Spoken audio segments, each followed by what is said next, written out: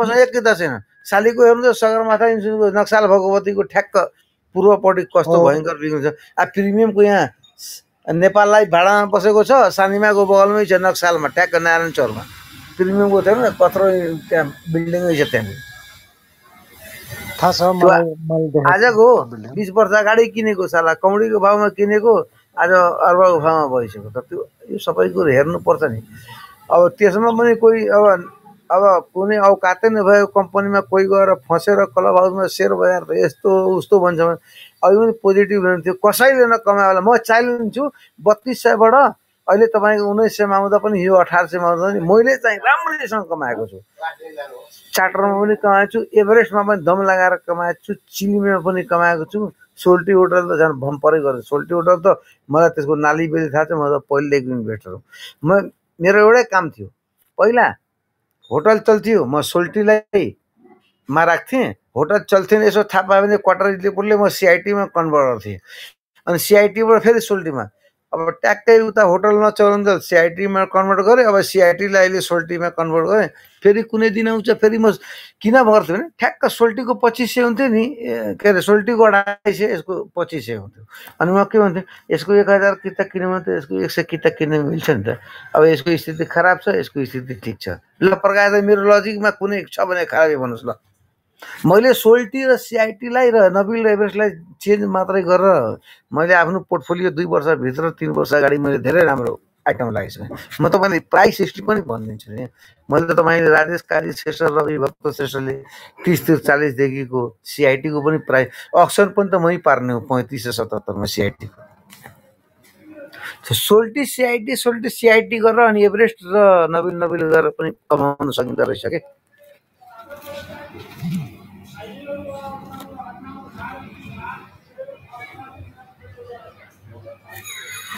ल। अब बोल्नु है। म स्पिकर अफ गरेँ मैले भने प्रकाशले सुन्नु सुन्नु। मैले त सोल्टी सिआइटी र नबिल एभरेस्टमा पनि राम्रै गरेको छु। बाँकी राम्रो छ मसँग छैन तर it is one of the very good script होइन। It is one of the very good script. अब तपाईँले भनेर मैले किन्नुपर्छ भन्ने छैन जस्तो तपाईँले अस्ति छैन। स्वावलम्बन मैले किनेको छैन स्वावलम्बन मैले बसन्त सर भन्दा नि खतरा मान्छे देखेको छु त्यसलाई बोलाइदिउ।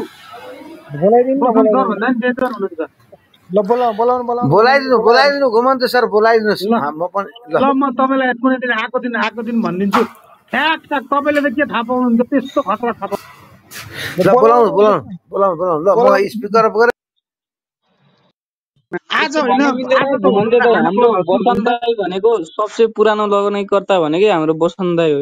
क्लब हाउसको।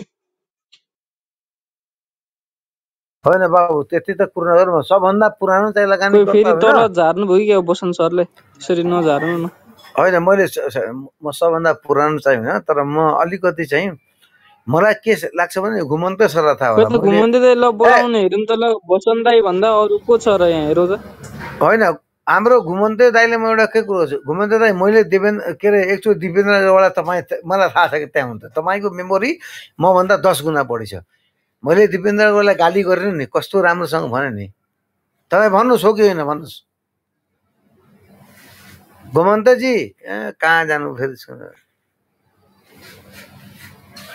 मैले दिपेन्द्रलाई पनि त्यो दिन राम्रोसँग भने फे- फोन आयो होला के होला होला म यहीँ। बसन्त सर बसन्त सरलाई म एउटा सानो क्वेसन राख्छु ल। क्वेसन भन्दा जिज्ञासा।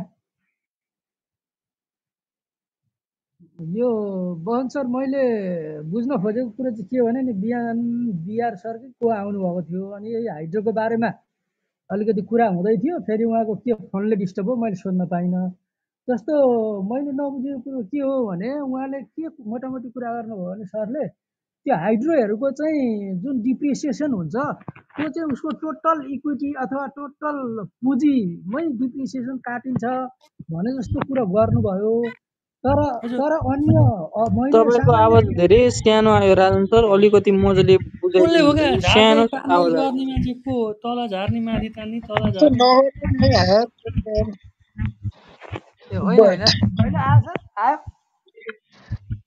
यहाँ धेरै छैनन्। पाँडे बा गौतम दाई प्रकाश सर घुमन्ते दाई अरुण दाई। यति मध्ये एकजना हुन्। आयो सर आयो आवाज आयो। अझै नजिकबाट बोल्नुपर्छ तपाईँ। क्लियरली नजिकै अलि के डिस्टर्ब भयो के डिस्टर्ब भएछ अरूभन्दा पनि बिहान प्रकाश सरले पनि अलिक चासो राख्दै हुनुहुन्थ्यो। अनि बिआर सरले त्यो हाइड्रोको विषयमा अलिकति कुरो भयो। म पनि अलिकति कुरो राखौँ भनेर माथि आएको थिएँ फेरि बिआर सर हो कि आरबी सर हो फेरि उहाँको काम परेर हिँडिहाल्नु भएछ। अनि अहिले हाम्रो बसन्त सर आउनुभएको हुँदा मैले अलिकति सानो जिज्ञासा राख्न खोजेँ। जस्तो हाइड्रोमा बिहान चाहिँ सरले के भन्नुभयो भने त्यो हाइड्रोहरूको टोटल पुँजीमै डिप्रिसिएसन कट्टा गर्ने हो। त्यसको त्यो जो जो- जुन पिरियड हुन्छ थर्टी इयर्स त्यसलाई डिभाइड गरेर भन्ने कुरो गरेर एउटा अप्पर तामाकोसीकै मानिले हो उहाँले उदाहरण दिँदै लक्ष्मी सरले पनि त्यसमा क्वेसन उठाउनु हो।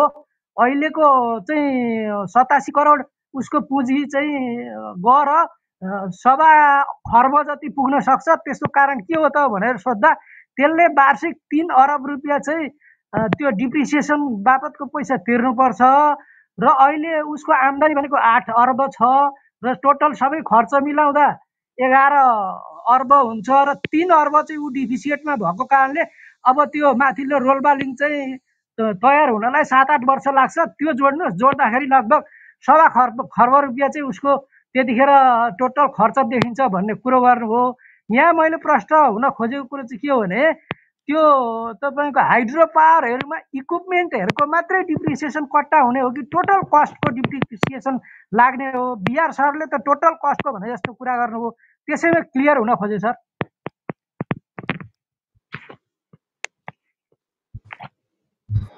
अब मे बसन्तजी बसन्तजी भन्नु तपाईँ नभए मैले बसन्तजी तपाईँ भन्नु त अनि म नि भन्छु यसमा मैले बिहानै भन्न लाएको थिएँ म नि भनौँला। बसन्तजी? अब मैले बुझेअनुसार ल बसन्तजीको केही बसन्तजी तपाईँ हुनुहुन्छ? खै मैले बुझेअनुसार मैले बिहानै भन्न लाएको थिएँ म उहाँ हुँदैमा भन्न लाएको थिएँ अब फेरि के के भयो। अनि त्यो चाहिँ इक्विपमेन्ट प्लान्ट इक्विपमेन्ट मसिनरी त्यस्तोमा चाहिँ हुन्छ। अफिसको कम्प्युटरमा डिप्रिसिएसन हुन्छ त्यो त रेगुलर डिप्रिसिएसन भने कम्प्युटर प्लान्ट इक्विपमेन्ट मसिनरी अनि अरू सर उहाँले कसरी भन्नुभयो भने त्यो प्रोजेक्टको कस्ट छ जुन तिस वर्षको त्यो तिस वर्षमा जिरो हुने टाइपले एक्सप्लेन गर्नुभयो क्या? त्यहाँ हो कन्फ्युजन भयो त्यो होइन प्रोजेक्ट नै त्यो जिरो हुन्छ कि भन्ने जस्तो भयो? होइन प्रोजेक्ट त्यो डिप्रिसिएसन उनीहरूले गर्ने plant machine equipment plant equipment मसिनरिजमा हो जस्तो लाग्छ मलाई चाहिँ होइन? र हाम्रो जुन लङ टर्म एसेट्सहरू जुन हाम्रो कम्प्युटर किने हुन्छ पाँच वर्षमा कति कम्प्युटर टेबल कुर्सी किने हुन्छ त्यसमा पनि डिप्रिसिएट हुन्छ। हो त्यो सबै डिप्रिसिएट तर हामीलाई चाहिएको हाइड्रोमा चाहिँ मेन पोर्सन जाने भनेको प्लान्ट मसिन इक्विपमेन्ट मसिनरी र इक्विपमेन्टमा हो। हो त्यसको हुन्छ जस्तो लाग्छ अब मलाई ठ्याक्कै थाहा छैन। हाइड्रोको चाहिँ मलाई ठ्याक्कै थाहा छैन। तर जस्तो के हो भने त्यो अप्पर तामाकोसी चाहिँ तपाईँको निर्माण गर्नलाई सतासी अर्ब अथवा नब्बे अर्ब जति लागोस् त्यो त हजुरले भन्नु त्यही त त्यो त टोटल कस्ट हो तर त्यहाँ त्यहाँ त इक्विपमेन्ट छ इक्विपमेन्टहरू छ मेसिनरीहरू छ अब उहाँको भनाइ चाहिँ कस्तो थियो? बिआर बिआर सरको भने टोटल कस्टमा चाहिँ डिप्रिसिएसन लाग्छ भने जस्तो कुरा गरेर झन्डै सवा खर्बको चाहिँ अथवा वार्षिक तिन अर्बको डिप्रिसिएसन उहाँले निकालेर हिसाब गर्नुभयो कि? अनि अब सरले भने जस्तै अरू अरू सेक्टरहरूमा ब्याङ्किङ सेक्टर अन्य सेक्टरहरूमा त अब त्यो इक्विपमेन्ट अथवा भनौँ न अब कम्प्युटर अब जे जे हुन्छ प्लान्ट अब तिनीहरूको मात्रै डिप्रिसिएसन कट्टा हुने हो। त्यो पनि के छ भने के भन्छ त्यो फिक्स बेसिसमा हो ten percent fifty percent twenty five five percent त्यो कसरी हुन्छ होइन?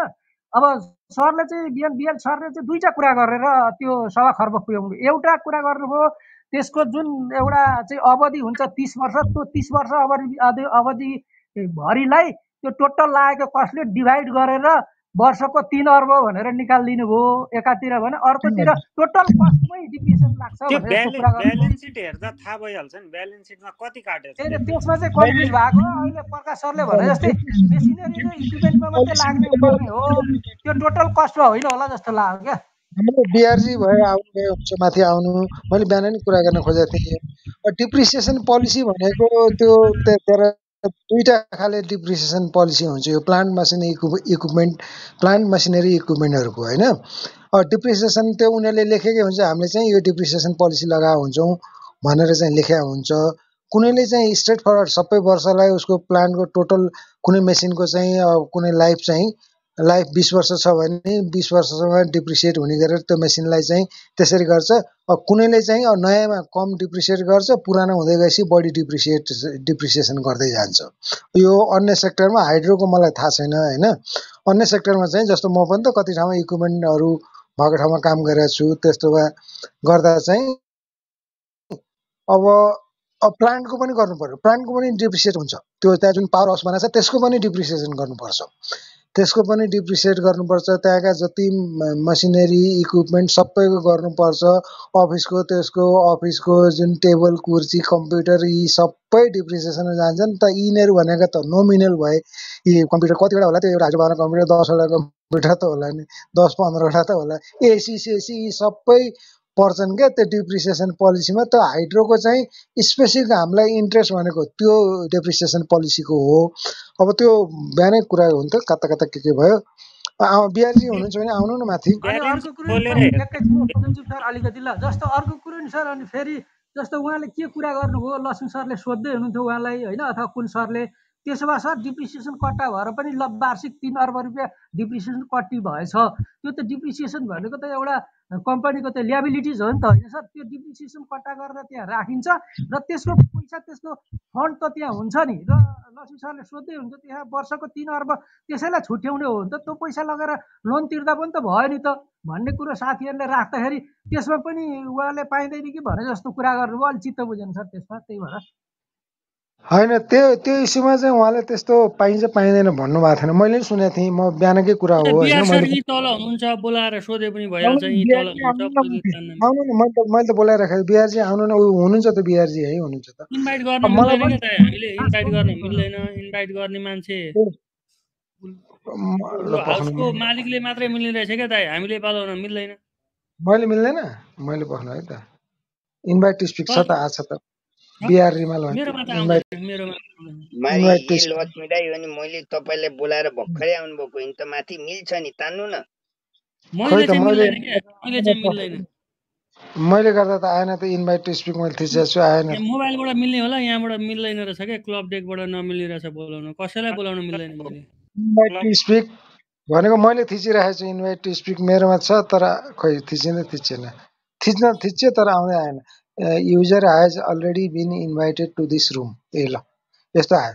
रातोमा चाहिँ user has been already been invited to this room भने काम पऱ्यो काम होला काम सकेर आउनुहुन्छ काम सकेर आउनुहुन्छ ल। उहाँ आउनु उहाँ पक्का मान्छे हुनुहुन्छ यसमा आउनुहुन्छ उहाँ। उहाँ त्यस्तो अरू जस्तो उहाँ आउनुहुन्छ। त्यति चाहिँ आउनुहुन्छ उहाँ आउनुहुन्छ। त्यो उहाँले आफूले गरेको कुरा यो एजम्सनमा यस्तो हो भनेर भन्नुहुन्छ क्या? मैले त्यति थाहा छ। उहाँले आएर भन्नुहुन्छ त्यो। र कुरो चाहिँ त्यो भयो राजनजी अब एकछिनलाई वेट गर्नु भने त काम अब यसैलाई कसले बोलाउला क्लब हाउसमा माथि भनेर त कुरेर बस्नु भएको छैन होला नि त। कति कतिपटक उहाँ आफ्नै काममा बिजी हुनुहुन्छ होला कति के होला मिटिङमा हुनुहुन्छ होला के होला के होला कसले बोलाउला माथि भनेर त कोही पनि बस्दैन नि। त्यो त एटलिस्ट म त बस्दिनँ म त आफ्नो काममा मे आफ्नो काम फर्स्ट प्रायोरिटी लिजर टाइम चाहिँ साथीभाइसँग यसो गफ हाँकेर बस्ने बेला हो। मेरो त स्पष्ट कति छ भन्ने? मैले त बिहानै कुरा गर्न आएको थिएँ। राजनीतिले उठाएको कुरा चाहिँ अरू धेरै कुरा त होइन। यो ऊ चाहिँ त प्लान्ट मसिन इक्विपमेन्ट इक्विपमेन्ट मात्रै हुने हो नि। डिप्रिसिएसन त प्रकाश सर प्रकाश सर जस्तो मैले मेरो घर ब्याङ्कमा राखेको छु मेरो यो हिसाब त्यो जस्तो प्रत्येक वर्ष मेरो घरको डिप्रिसिएसन काटिन्छ होइन? त्यसपछि भ्यालुएसन हुन्छ भनेको मतलब मेरो बिल्डिङको तपाईँको त्यसरी डिप्रिसिएसन काटिन्छ भने त्यो हाइड्रो पावर पनि कन्स्ट्रक्सन गरेको जुन त्यो एरिया हुन्छ जुन त्यो बिल्डिङ हुन्छ त्यसको चाहिँ डिप्रिसिएसन चाहिँ काटिन्छ नै होला मलाई जहाँसम्म लाग्छ। किनभने त्यसको नि एउटा सर्टेन पिरियड हुन्छ त्यसपछि त त्यो एक्सपायर हुन्छ सिमेन्टको पनि डेट सकिन्छ। र डन्डीको पनि त्यो डेट सकिएला त्यो तिस वर्ष अथवा पचास वर्षपछि त्यो ड्यामेज भएर जाला त्यो डिप्रिसिएसन चाहिँ काटेकै हुन्छ तर त्यसलाई लोन तिर्न पाउँछ कि पाउँदैन भन्ने कुरा चाहिँ मलाई पनि थाहा भएन तर डिप्रिसिएसन चाहिँ होल टोटलकै काटिन्छ जस्तो लाग्छ है मलाई चाहिँ। होइन होल टोटल राजनजीले भने जुन सतासी अरब लोन उसको टोटल क्यापिटल प्लस इक्विटी भने लाइबिलिटी प्लस इक्विटीको जोड्दा सतासी अरब हो त्यसमा चाहिँ तिन अरब काटिन्छ। भने दस अरब जति मोटामोटी दस अरब जतिको हिसाब निकाल्नु भएको थियो होइन त्यो निकाल्नु भएको थियो। तर मैले मैले बिहानै कुराकानी लाग्थेँ यो यो चाहिँ त प्लान्ट मसिन इक्वि मसिनरी इक्विपमेन्टमा हुने हो। अब यसको चाहिँ डिप्रि यो डिप्रिसिएसन पोलिसी भनेको दुई किसिमका हुन्छन्। एउटा चाहिँ टोटल प्लान्टहरूको चाहिँ अब यसको भने प्लान्ट भने त्यहीकै त्यहाँको घर संरचना संरचना त्यो पावर पावर हाउस पक्नु पाउनु एकछिन पक्नु एकछिन एकछिन एकछिन एकछिन वेट वेट वेट अनि त्यो प्लान्ट भने त्यहाँको पावर हाउसको पावर हाउसको त्यसको पनि एउटा लाइफ त हुन्छ नि तपाईँले भने जस्तो त्यो छड्किने यो त्यसको लाइफ हुन्छ त्यसलाई चाहिँ कुनैले चाहिँ नयाँमा चाहिँ अब उनीहरू डिप्रेसन पोलिसी अनुसार हुन्छ। नयाँमा चाहिँ त्यो त एकदम कम रिस्क हुन्छ नि त्यो कम डिप्रिसिएट गर्छ प पछाडि हुँदै गएपछि धेरै डिप्रिसिएट गर्दै जान्छ। अब कुनै कुनैले चाहिँ युनिफर्मली युनिफर्मली गर्छ। अब त बिस वर्षको छ भने त्यसको डिप्रिसिएसन त्यसलाई जिरो बनाउने हिसाबले अब सु डे वानदेखि नै भने इयर वानदेखि नै त्यसरी डिप्रिसिएट गर्छ। मैले थाहा पाएको चाहिँ त्यस्तो थियो। तर मैले थाहा पाएको हाइड्रो सेक्टरमा होइन। मैले थाहा पाएको अर्कै सेक्टरमा हो। अर्कै सेक्टरमा हाम्रो जुन हाम्रो यो मेडिकल स्टोरहरू सम्बन्धी मेडिकल स्टोरहरू हुन्छ नि सरकारको औषधि वेयर हाउसहरू त्यस्तो त्यस्तोमा अब त्यहाँका जुन इक्विपमेन्टहरू पनि हुन्छन् त्यहाँ ठुल्ठुला इक्विपमेन्टहरू हुन्छन् रेफ्रि त्यो ठुलो कोल्ड रुमहरू हुन्छ त्यस्तो त्यस्तोको डिप्रिसिएसन गरेको मलाई थाहा छ क्या किन भन्दा त्यो इन्सुरेन्स गर्ने बेलामा त्यो डिप्रिसिएट गर्नुपर्छ क्या त्यो सबै चिजहरू मिलाएर गर्नुपर्छ। त्यस्तो भएर मलाई त्यसको चाहिँ थाहा छ हाइड्रोको चाहिँ मलाई थाहा छैन। बिहारजी आएपछि कुरा गरौँला त्यो। अहिलेलाई यसलाई हुनै राखौँ न किन भन्दा अरू केही थप अरू कसैले भन्नुहुन्छ भने भन्नुहोस् जाने कुरा जसले भने नै हुन्छ। बिहारजीले भन्नुपर्छ। बसन्तजीले भन्नुभएन भने जाने कुरा जसले भने नै हुन्छ। आफ्नो ओपिनियन जसले राखे नै हुन्छ। सकभर यसलाई चाहिँ यस्तो कुराहरू चाहिँ क्लियर गरेकै राम्रो हुन्छ। मेरो भनाइ चाहिँ त्यो छ।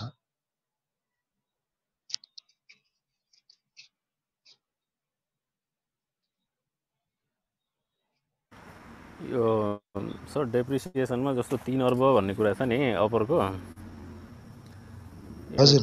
टोटल टोटल रेभेन्यू कति रहेछ? आठ अर्ब कति रहेछ? त्यसको आम्दानी अब त्यो हिसाब गर्दाखेरि फोर्टी पर्सेन्ट चाहिँ अब त्यो डेप्रिसिएसनमा अब छुट्याएको रहेछ क्या त्यही हेरेर उहाँ सरले चाहिँ अब फेरि प्रत्येक वर्ष तिन अर्बको हिसाबले नै त्यो डेप्रिसिएसनमा जाने हो कि भन्ने सायद उहाँको हो कि जस्तो लाग्यो। त्यति नहोला। किनभने मैले त्यो सानीमा हाइड्रो चिलिमे हाइड्रो यिनीहरूको पनि त्यो हेर्दाखेरि उनीहरूको पाँचदेखि सात प्रतिशत छ के? तिनीहरूको त्यो डेप्रिसिएसन एन्ड अमोर्टाइजेसन भनेर त्यसो छुट्याउने रकम।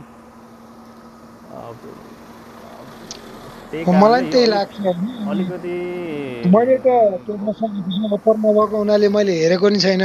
त्यसको स्टेटमेन्टै हेरेको छैन मैले अफर नभएको हुनाले। त्यो भएर मलाई थाहा छैन यसको करेक्ट एकुरेट कुरा चाहिँ थाहा छैन मलाई। अब कति गरेछ भनेर। तपाईँ भन्नु न साजी तपाईँले हेर्नुभयो होला तपाईँ भन्नु न। होइन मैले त्यही त हेरेको भएर त्यति अब होइन त्यो तिन अर्ब भनेको त उनीहरूको त्यो कुल आम्दानीको त चालिस प्रतिशत हो कि त्यो डेप्रिसिएसनमा छुट्याएको रकम सर लगभग। डेप्रिसिएसनको अमाउन्ट पनि हरेक साल फरक फरक छुट्याएको छ क्या। फरक फरक हुन्छ त मैले भनेको छु त फरक फरक हुन्छ त भनिराखेको छु त मैले।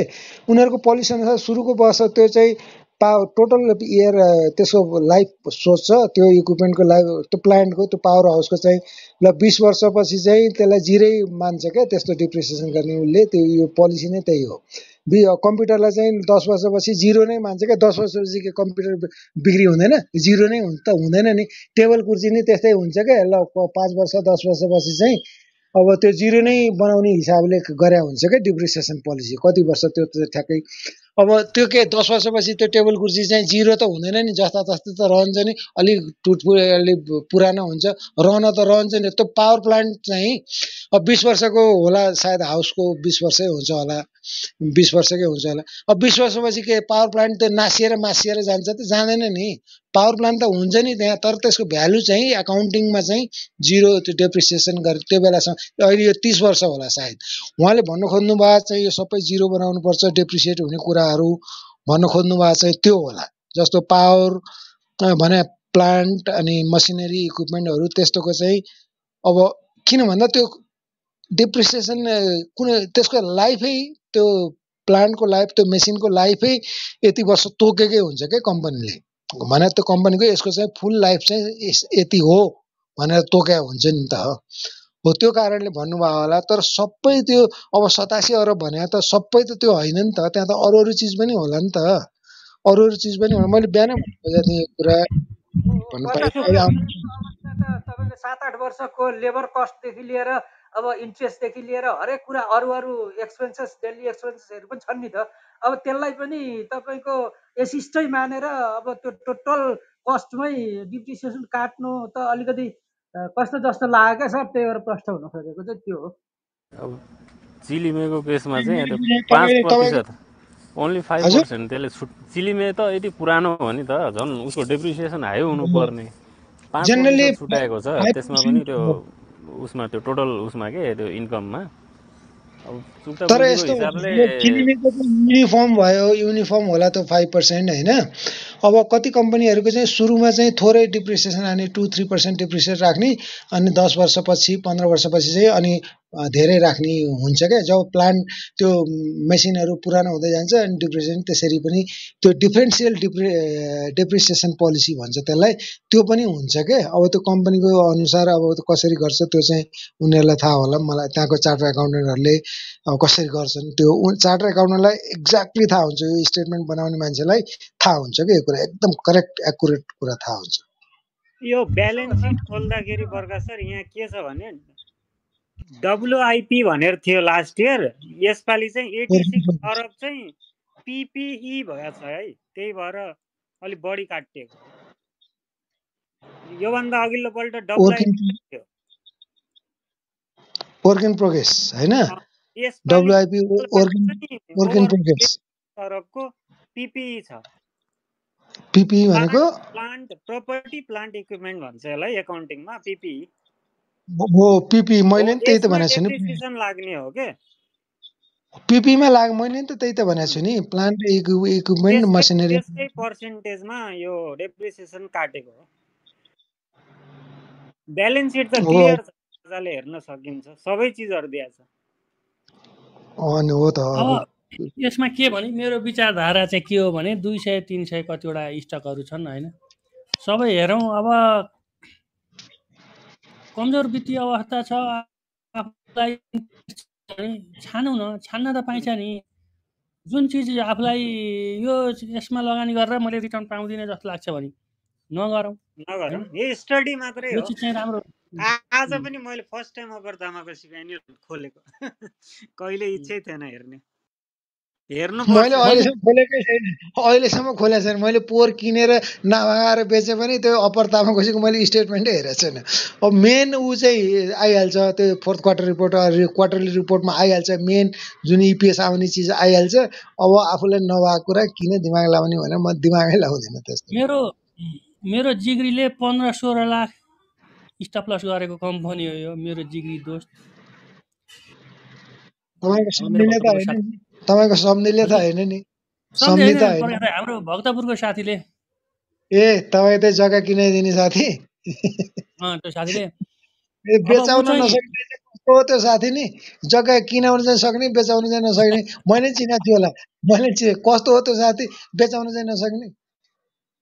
अनि सबैको बिहाल्छ त उनीहरूको बिहाल्छ अनि पन्ध्र सोह्र एकैदिन होइन कोरोना अगाडि नि दाइ उसको र मेरो परो होइन उनीहरू भन्ने तामाकोसी किन्ने भन्ने उनीहरूको सबै टोली एकमत भएर तामाकोसीमा लागे म चाहिँ यमियन किन भन्ने?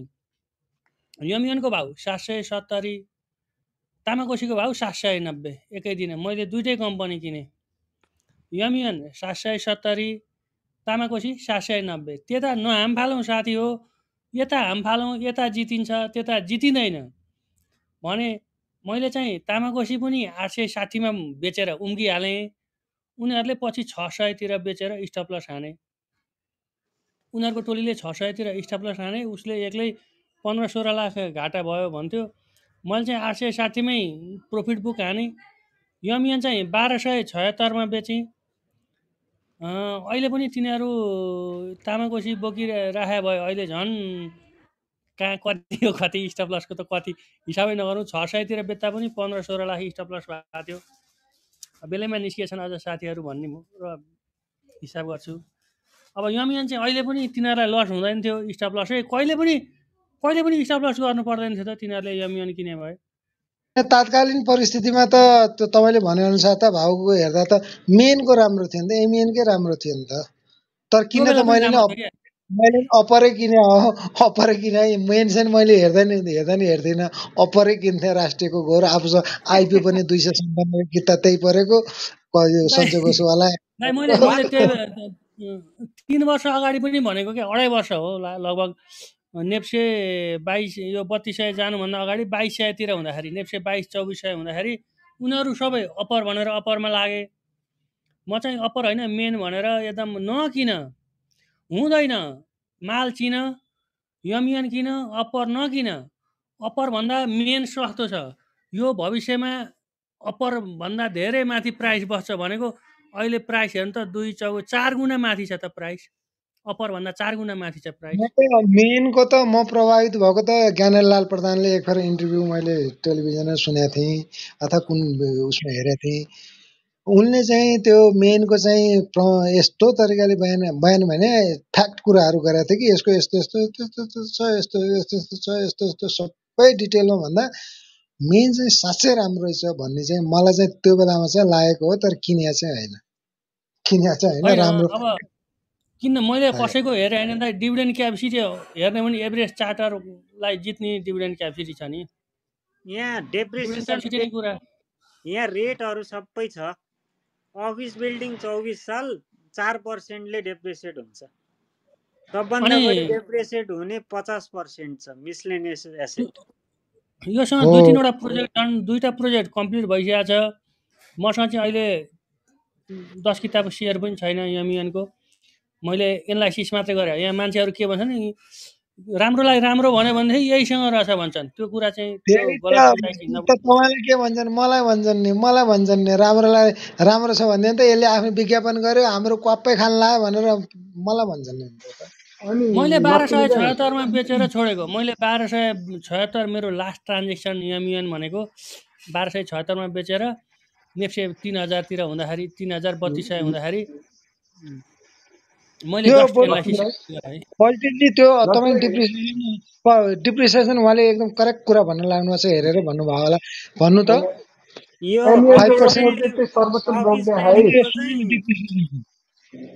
त्यो चौबिस साल रहेछ चार पोइन्ट सोह्र पर्सेन्टले काटिँदो रहेछ। रेसि चौबिस चौका सुन्नु सुन्नु चौबिस चार पर्सेन्ट कति काट्दा चौबिस चौका छयानब्बे भने त्यो सय बनाउने हिसाबले त्यो भयो। ओके। चौबिस सालको रहेछ यो। तपाईँको ट्रान्समिसन सब स्टेसन र स्विच गियरको पनि चौबिस।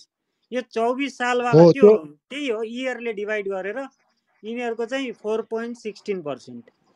अनि कार भेहिकलको पन्ध्र साल यो चाहिँ छ पोइन्ट छ सात पर्सेन्टेज। अनि फर्निचरहरूको ट्वेन्टी पर्सेन्ट यो अफिस इक्विपमेन्ट फिफ्टिन पर्सेन्ट त्यही हो जस्तो अफिस इक्विपमेन्ट भने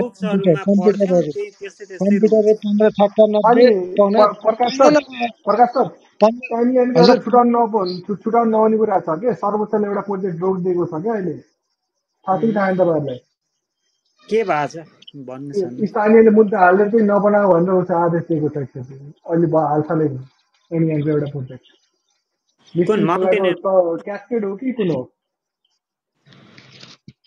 अब त उसै पनि लकिङ पिरियड खोलिरहेछ। मान्छे त उसै नै अलर्ट छ।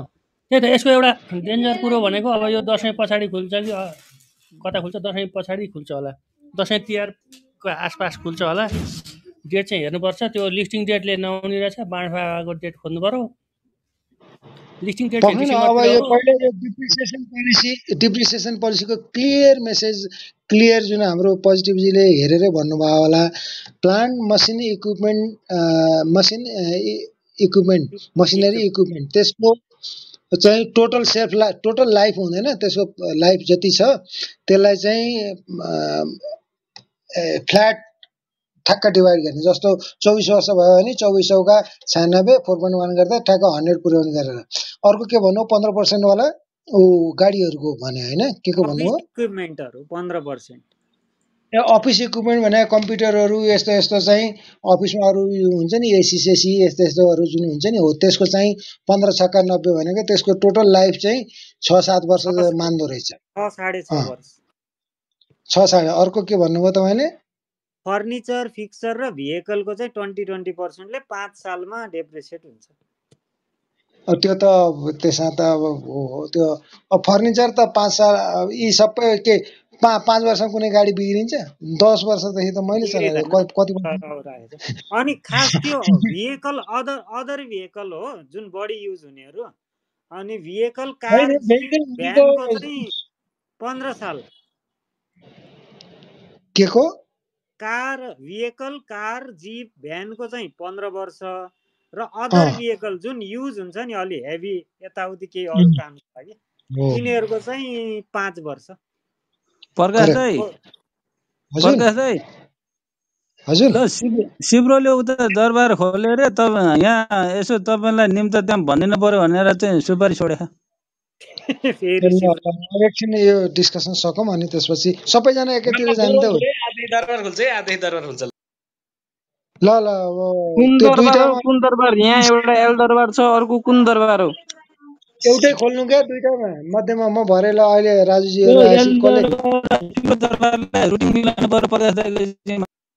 होइन तर रेगुलर भन्दा पनि हामी सबैको दरबार भनेर खोल्नु पर्यो एउटा। हामी सबैको दरबार। अर्को सिब्रुको दरबार रिया दिदी खोलिदिनु त रिया दिदी। सिब्रुको दरबार तपाईँ तपाईँले खोलिदिनु त। अर्को नि छ नि सिब्रुको दरबार। सम्बन्धमा अलिकति बोलौँ है। ल ल। है त। सर अहिले चाहिँ बिल्डिङ मेसिन आदि कुराहरूको चाहिँ होइन अब चाहिँ गाडी साडीको कुरा गर्नुभयो होइन। तर त्यो सिङ्गो प्रोजेक्ट जहाँ ड्याम बनाइएको हुन्छ सुरुङ बनाइएको हुन्छ पावर प्लान्ट बनाएको हुन्छ पेनिस्टर पाइप बनाएको हुन्छ जेनेरेटर राखेको हुन्छ त्यो सिङ्गो प्रोजेक्ट प्रोजेक्टको डिप्रिसिएसन हुँदैन। त्यो ड्यामको डिप्रिसिएसन हुँदैन। प्रोजेक्टलाई पार्ट पार्टमा छुट्याइदिएछ क्या हरेक कुराहरूलाई। हजुर। त्यसको पनि छ त्यही भएर चाहिँ उहाँ बिहार सरले भन्नुभएको सिङ्गो प्रोजेक्टको डेप्रिसिएसन त्यसको कस्ट कस्ट चाहिँ अब कति चौरासी अरब कि कति सतासी अरब कति पुगेको छ होइन।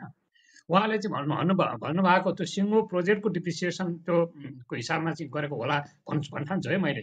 सरले चाहिँ पार्ट पार्ट छुट्याएर डिप्रिसिएसन गर्न लाग्नुभयो जस्तो लाग्यो उहाँले भने अनुसार हरेक साल डिप्रिसिएसन सेम आउँदैन। त्यो डिप्रिसिएसन हरेक साल चेन्जेस हुन्छ। त्यसको भ्यालुएसन घट्दै घट्दै जान्छ क्या। हो हो। त्यो त घट्दै जान्छ नि। पहिलो वर्ष दसबाट नौ हुन्छ भने दोस्रो वर्ष नौको भनौँ टोटल पुँजी नौ छ भने नौ नौको डिप्रिसिएसन हुन्छ। अनि त्यस्तो हुँदै जान्छ। त्यो त बराबर हुँदै हुँदैन नि। डिप्रिसिएसनको थ्योरीले नि त्यो भन्दैन नि। त्यो त गाडीको पार्ट पूर्जा मेसिनरी सानो फर्निचरको पनि त्यस्तो हुँदैन। त्यो त फरक भइहाल्छ।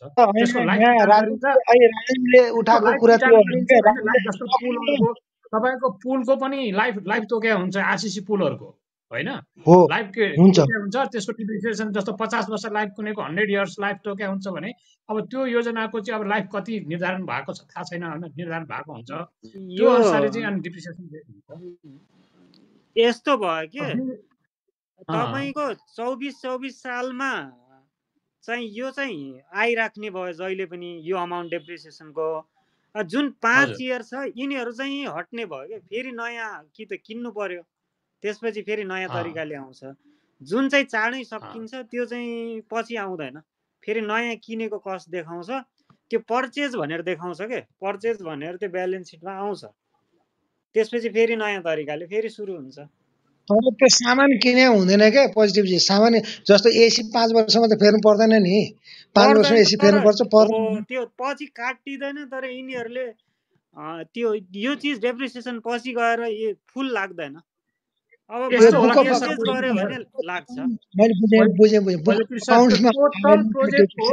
टोटल प्रोजेक्टको डिप्रिसिएसन हुँदाखेरि त पछि जस्तो मानव कुनै एउटा प्राडो गाडी किन्यो होइन? एउटा थपेर किन्यो भने पनि त्यो त्यही प्रोजेक्टको नाफाबाट किनेको हुनाले त्यो टोटल प्रोजेक्टको कस्टमा डिप्रिसिएसन काटेस त त्यो जम्मै कुरो एकमुष्ट भएर आउने भइहाल्यो नि होइन? तर त्यो सतासी जुन सतासी अरब बिहान बिहारजीले कुरा गर्नुभएको थियो नि त्यो सतासी अरब भनेको त सबै प्लान्ट मेसिन इक्विपमेन्ट यस्तो यस्तो मात्रै त होइन नि त त्यहाँ अरू चिज पनि छ नि।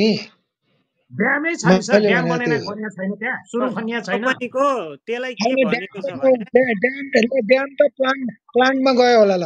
प्लान्ट भन्नेमा गयो होला। ड्याम त ल पावर हाउस त्यो ड्याम स्याम ल त्यो चाहिँ प्लान्टमा गयो होला। Plant machinery equipment. त्यहाँ चलाउने त सबै गयो यी गाडी साडी नि सबै चले होइन त्यो उसमा आयो मसिनरीमा। ऊ तर सतासी अरब भने सबै त्यहाँ त खर्च भयो। होइन नि त। कति छ अन्त पनि त त्यसका कस्टहरू होला नि। मलाई थाहा छैन। होइन। प्रशासनिक खर्चहरू भन्नुभयो होला। होइन प्रशासनिक खर्चहरू भएका हुन्छन् होइन?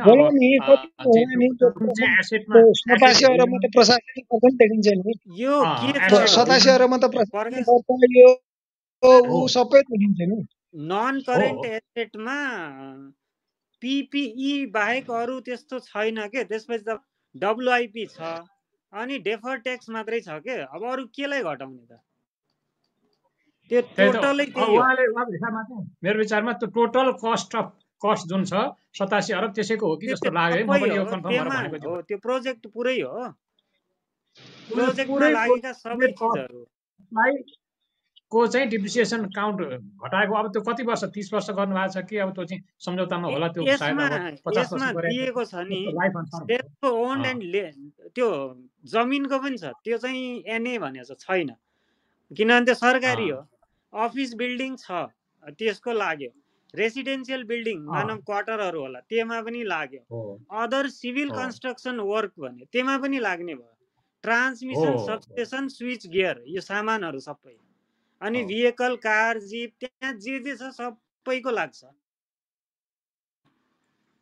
यस्तो हुन्छ सर जस्तो चाहिँ त्यहाँको सरकारी जग्गा र त्यसो त नदीको मूल्य त्यो चाहिँ लागेन त्यो चाहिँ त्यसलाई पाएन होइन उसले खर्च गरेको मूल्य चाहिँ पायो सरकारी त्यही होला त्यही होला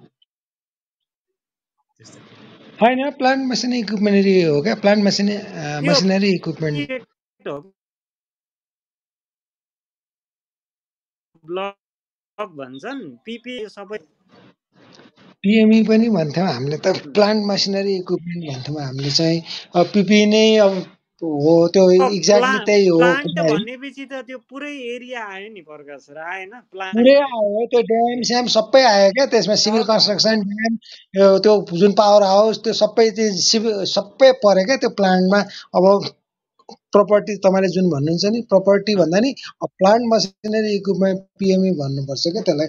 खासमा अब तपाईँले कहाँबाट पढ्नुभयो? त कुरा त्यही हो प्रपर्टीमा मसिनरी इक्विपमेन्ट भन्ने त्यही हो पिएमई भने पिपिई भने त्यही हो क्या खासमा। कुरा त्यो कुरा उयो घुमाएर यता र उता भने जस्तै हो प्रोपर्टी प्लान्ट इक्विपमेन्ट यसलाई यही भन्छ त्यही हो कुरा चाहिँ अब क्लियर कुरा चाहिँ अब त्यसको चाहिँ हुन्छ डिप्रिसिएट अब तपाईँले भने जति जति ऊ छन् सबैको हुन्छ डिप्रिसिएट अब डिप्रिसिएट नहुने भनेको अब त्यहाँ त कति चिज त अरू त सतासी अरबमा त अरू चिज पनि होला नि भने सबै सतासी अरब त्यसैमा त त्यहीँको प्लान्ट बनाउँदैमा खर्च त भएको छैन होला नि अरू अरूमा नि खर्च ऊ होला नि त्यहाँ कति चिज होला नि। अब घरबाट तिर्या होला त्यो सतासी अरबमा त्यस्ता के के के के पर्छन् होला नि। के हो त्यो बिहारजी आएछ कुरा गरौँला मैले बुझेको चाहिँ यही हो। ल राजनजी अहिलेलाई चाहिँ यत्तिकै बुझेँ नि तपाईँले सोधेको कुरामा केही न केही चाहिँ थप इनपुट पाउनु भएको छ मैले बुझेअनुसार यो प्रपर्टी प्लान्ट इक्विपमेन्टकै छयासी अरब छ क्या प्रकाश सर? त्यो तिनवटा यो यो भित्र नै। अरू बाँकी चिजहरू छ अब त्यो डब्लुआइपीमा राखेको छ। अब त्यसपछि करेन्ट एसेटहरू यिनीहरू त अरू नै भइहाल्यो। करेन्ट एसेटमा त हुँदैन होला नि त डिप्रिसिएसन त्यो त भयो। करेन्ट एसेट हुँदैन होला नि त। त्यो त इन्भेन्ट्रीहरू यिनीहरू भयो।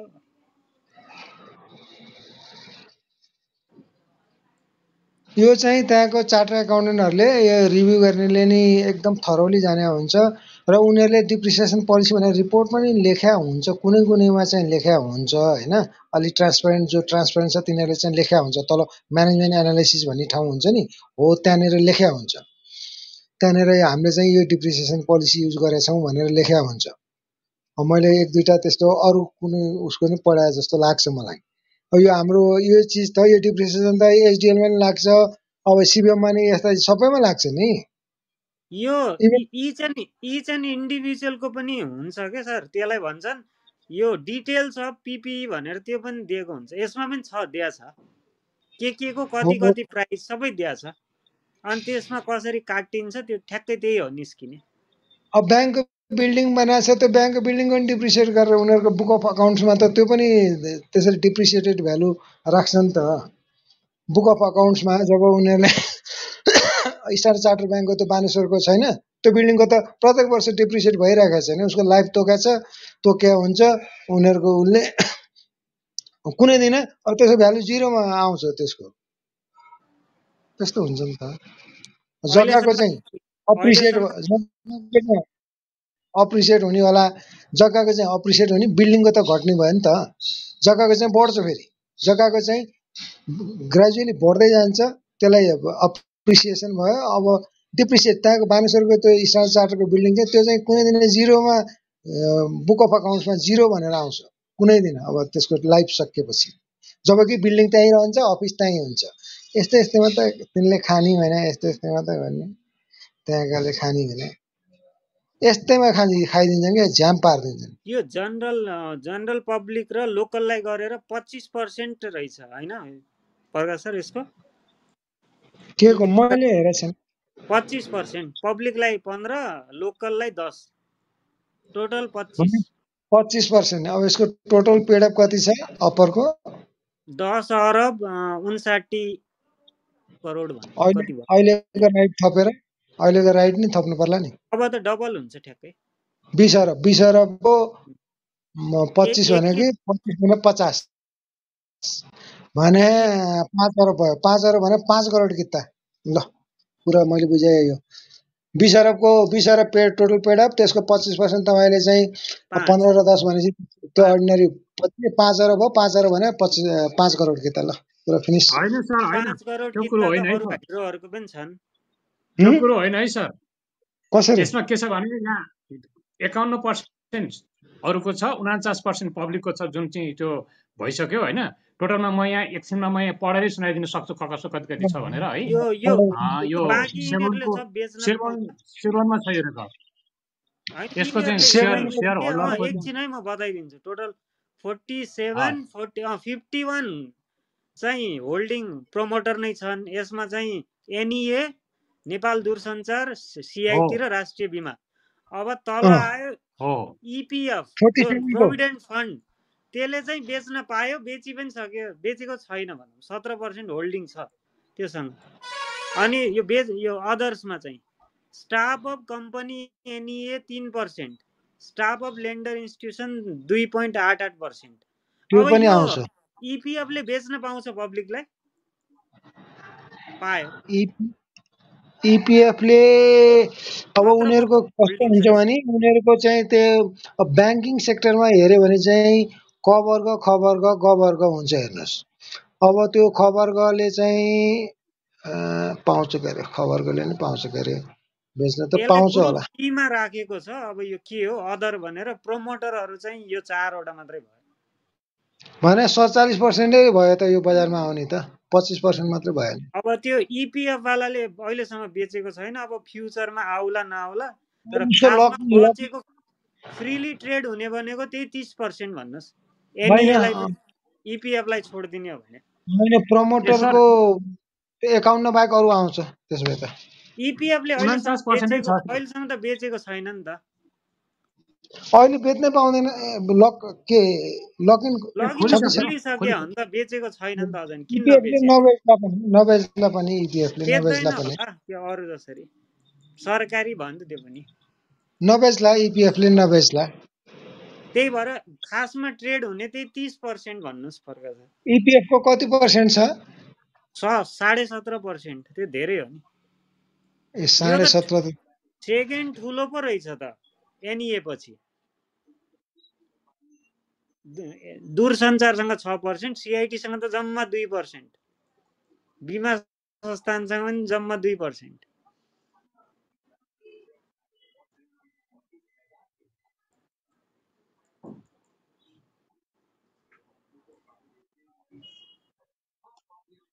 अब आज भोलि के छ? बेचिसक्यो सकेन अब त्यो चाहिँ हेर्नुपर्छ डिटेलमा।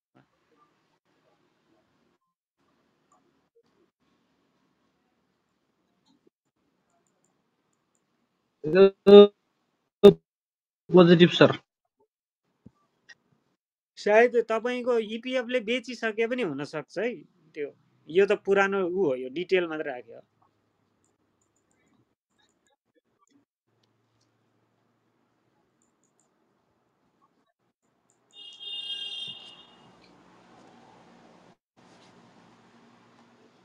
यस्तो छ सर यसको सर संरचना पोजिटिभ सरले कहाँबाट हेर्नुभयो होइन? मैले चाहिँ यो सेभनमा उनीहरूले बुझाएको हेरेर भनेको आयोजना निर्माणको लागि वित्तीय स्रोत व्यवस्थापन सुन्दै हुनुहुन्छ है?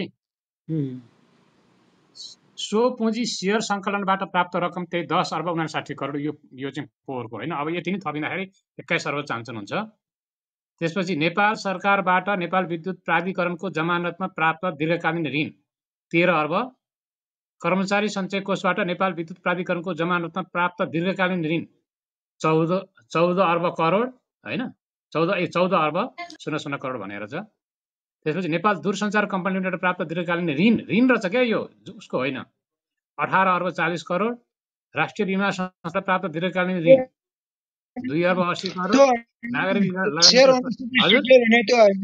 सेयर ओनरसिप स्ट्रक्चर भने त्यो होइन। तपाईँले भने लोन हो क्या? लोन छुट्टै हो। त्यो चाहिँ उनानब्बे अर्ब त्रिहत्तर करोड रहेछ क्या यसको चाहिँ पुरा लागत यो वर्षको यो तपाईँको पेड अपको हो क्या दस त्यो अर्कै चिज हो। सेयर हुन्छ क्या? सेयर ओनरसिप त्यो इपिएफलाई चाहिँ पब्लिक भनेरै उसले नोट गरेको छ। अब उसले बेच्यो बेचेन त्यो डिटेल चाहिँ हेर्नु पर्यो बाहिर। अब यसमा संस्थापक सेयर धनीहरू हेर्नुहोस् है। नेपाल विद्युत प्राधिकरण होइन? सेयर सङ्ख्या चार चौतिस उन्नाइस हजार। नेपाल दूरसञ्चार कम्पनी त्रिसठी चौन्न हजार। राष्ट्रिय बिमा संस्थान एक्काइस अठार एक्काइस लाख अठार हजार। नागरिक लगानी कोष एक्काइस लाख अठार हजार ल। यति नै भन्यो। यो यो उसको चाहिँ इपिएफको चाहिँ ऋण रहेछ क्या? ऋण। त्यो सेयर होइन रहेछ। सेयर पनि छ नि। सेयर सेयरमा पैसा हालेछ अब त्यसलाई ऋणमा कन्भर्ट इपिएफको अब अस्ति कर्मचारीको भने हो सर कर्मचारीको त्यो साधारण सेयर रहेछ क्या? इपिएफका कर्मचारीले स्पेसल दिएको थियो इपिएफले राइट सेयर भरेको छैन अस्ति। राइट सेयर निकालेको राइट सेयर पनि भरेको छ नि इपिएफको छ र? अस्ति तपाईँले भने त हो नि मैले हेरेको छैन। तपाईँले भने अनुसार त त्यही त मैले त इपिएफको त सेयर त भनिनँ त्यो त ऋण हो अगाडिको। सुरुमा चाहिँ आइपिओ किनेको पनि हो क्या। अब त्यसलाई चाहिँ पब्लिकमा अदर सेक्टर अदरमा राखेछ। अब इपिएफले बेचिसकेन अब त्यो चाहिँ उसमा हेर्नु पर्यो। अब त्यो सेयर संस्थापक सेयर मध्ये नेपाल टेलिकमलाई छ पर्सेन्ट राष्ट्रिय बिमा संस्थानलाई दुई पर्सेन्ट र कम्पनी स्थापना गर्दा नेपाल विद्युत प्राधिकरणको एकाउन्न प्रतिशत सेयर रहेकोमा सडसठी चार दसको निर्णयअनुसार सम्झौता अनुसार संस्थापक सेयर मध्येबाट नेपाल टेलिकमलाई छ पर्सेन्ट राष्ट्रिय बिमा संस्थानलाई दुई पर्सेन्ट नागरिक लगानी कोषलाई दुई पर्सेन्ट सेयर दिने गरी चाहिँ प्रबन्ध पत्र संशोधन गरिएको भनेर भनेको छ क्या। एकाउन्न पर्सेन्टै देखियो। उन्चास पर्सेन्ट पब्लिकै हो सर। पब्लिक भन्नाले चाहिँ त्यो के भन्यो भने नागरिक लगानी कोष ऋणदाता कम्पनीका कर्मचारीहरूलाई चाहिँ फेरि विशेष व्यवस्थापन गरेका थियो। तिनीहरूलाई साधारण सेवाै हो त्यो चाहिँ होइन। वेतन नपाउने गरी हजुर? विद्युत प्राधिकरणका कर्मचारी अनि चाहिँ नागरिक लगानी कोषका कर्मचारी र अनि कर्मचारी सञ्चय कोषका कर्मचारीलाई पनि साधारण सेयरमा उनीहरूले रिजर्भ राखेर चाहिँ दिएको थियो। त्यो चाहिँ नेपाल सरकार। कर्मचारीले हजुर। सिपी सर कति फेके भएर आएको? ए म जान जान यहाँ अनेक अनेक गजन नजानेर हो सर। नजानेर हो। नजानेरै हो त सोझो भएको? हो हो हो नजानेरै हो। फेरि अर्कोमा आउनु खोजेको अब केही दिनपछि फेरि सच्याउँछु। त्यो मेरो ऊ थियो क्या तपाईँको चाहिँ युजर नेम त्यो थियो होइन? युजर नेममा जानु परिहाल्यो युजर नेम राख्ने हुँदाखेरि नामैसहित गएछ क्या त्यस्तो भएको। ल ठिक छ। अनि प्रकाश सर त्यो जुन एडिबिएलको पहिला पहिला पुरानो जमानामा चाहिँ उनीहरूले जबरजस्ती त्यो सेयर किनाउँथ्यो अरे नि त्यसलाई चाहिँ अब के गर्ने हो? मलाई मलाई थाहा छैन। म त त्यसो हुन्छ क्या सुन्नुहोस् त्यो बसा कागज छ नि बसा कागजमा होला तपाईँलाई ऋण लिएपछि एक फिर्ता दिन्छ। त्यो अहिले तपाईँले त्यति बेला चाहिँ त्यो कृषि विकास ब्याङ्कको आइपिओमा चाहिँ किसानहरूलाई दिएको त्यहाँ अप्लाई गर्नुभयो भए त्यो ऋणको अनुसारले चाहिँ दिएको छ त्यहाँबाट चाहिँ सबै पाउँछ। अब त्यसको क्यास डिभिडेन्ड बोनस सेयर पनि सबै पाउँछ त्यो गर्न चाहिँ सकिन्छ। तर त्यो तपाईँको के छ एनआइबिएल एस क्यापिटलमा गएर चाहिँ त्यहाँ पनि मिलाउन चाहिँ पाइन्छ त्यो हो। अब अर्को कुरो यहाँ प्रकाश सर एउटा के कुरो छ भने अहिले डिप्रिसिएसनको बारेमा र अप्पर तमाक कोसीको बारेमा धेरै ठुलो कुरो हो डिप्रिसिएसन भनेको पनि के हुन्छ भने जहिले पनि कुनै पनि चिजको डिप्रिसिएसन काट्दा त्यसको इस्टिमेटेड लाइफ हुन्छ। जस्तो मानौँ फर्निचर ल्यापटप कम्प्युटर छ भने त्यसको मानौँ पाँच वर्ष छ। ल्यान्ड एन्ड बिल्डिङ छ भने त्यसको बिस तिस वर्ष हुन्छ। त्यो अनुसारले त्यो डिप्रिसिएसन काट्ने हो। त्यसमा हामीले धेरै ठुलो विवाद गर्नु हुँदैन। त्यो आफ्नो कुरो छ। रहेको कुरो अप्पर तामाकोसीको। अप्पर तामाकोसीको म आज तपाईँलाई भन्दैछु आज कसैले दुई सयमा कसैको अप्पर तामाकोसी भने मैले हिजो मेरो गएर प्रोफाइलमा पनि एउटा साढे नौ सय नौ सय हुँदाखेरि पनि टु थाउजन्ड ट्वेन्टी वानमा के भनेको थिएँ भने सेल अप्पर तामाकोसी बाइस चिलमे त्यहाँ अलिकति लस चाहिँ कम गर्न पक्कै पनि सकिन्थ्यो तर तामाकोसीको कुरोमा के हुन्छ भने म अहिले पनि के भन्छु भने जुन अहिले तपाईँले एसडिपिसीको आज हाल हेर्नुभयो एनएचपिसी हेर्नुभयो तेह्र तेह्र लाखको तामाकोसीको त पचास लाखभन्दा एक करोडसम्म अक्सन आउँदैछ। कसले सहन सक्छ? एक सय पचासमा त्यो एक सय पचासमा भोलि पचहत्तर लाख किताब एक करोड आयो भने कसले एक सय पचासमा किन्न सक्छ? त्यसो भने तामाक कोसीवालाले चाहिँ अहिले तत्काल हामी चाहिँ धेरै औसिनु हुँदैन। बरु आज दुई सयमा पनि बेचेर त्यसको राइट सेयर चाहिँ भर्न पाइहाल्छ। आज जोसँग चाहिँ छ त्यसले पक्कै पनि सय रुपियाँमा राइट सेयर भर्न पाउँछ। र एक सय पचासमा त्योभन्दा मुनि उसले अक्सनमा चाहिँ मजाले भर्न पाउँछ। त्यो मसँग त छैन म भर्दै पर्दिनँ तर जोसँग छ त्यसले त्यसलाई चाहिँ मैले भनेको ट्रिगर पोइन्टलाई चाहिँ टिक गरेर चाहिँ त्यहाँ अलिकति गर्न सकिन्छ। होइन भने भोलिको दिनमा फेरि यस्तै तामा कोसीको चाहिँ यो अवस्था आयो भने चाहिँ एकचोटि चाहिँ सम्झिनु होला है त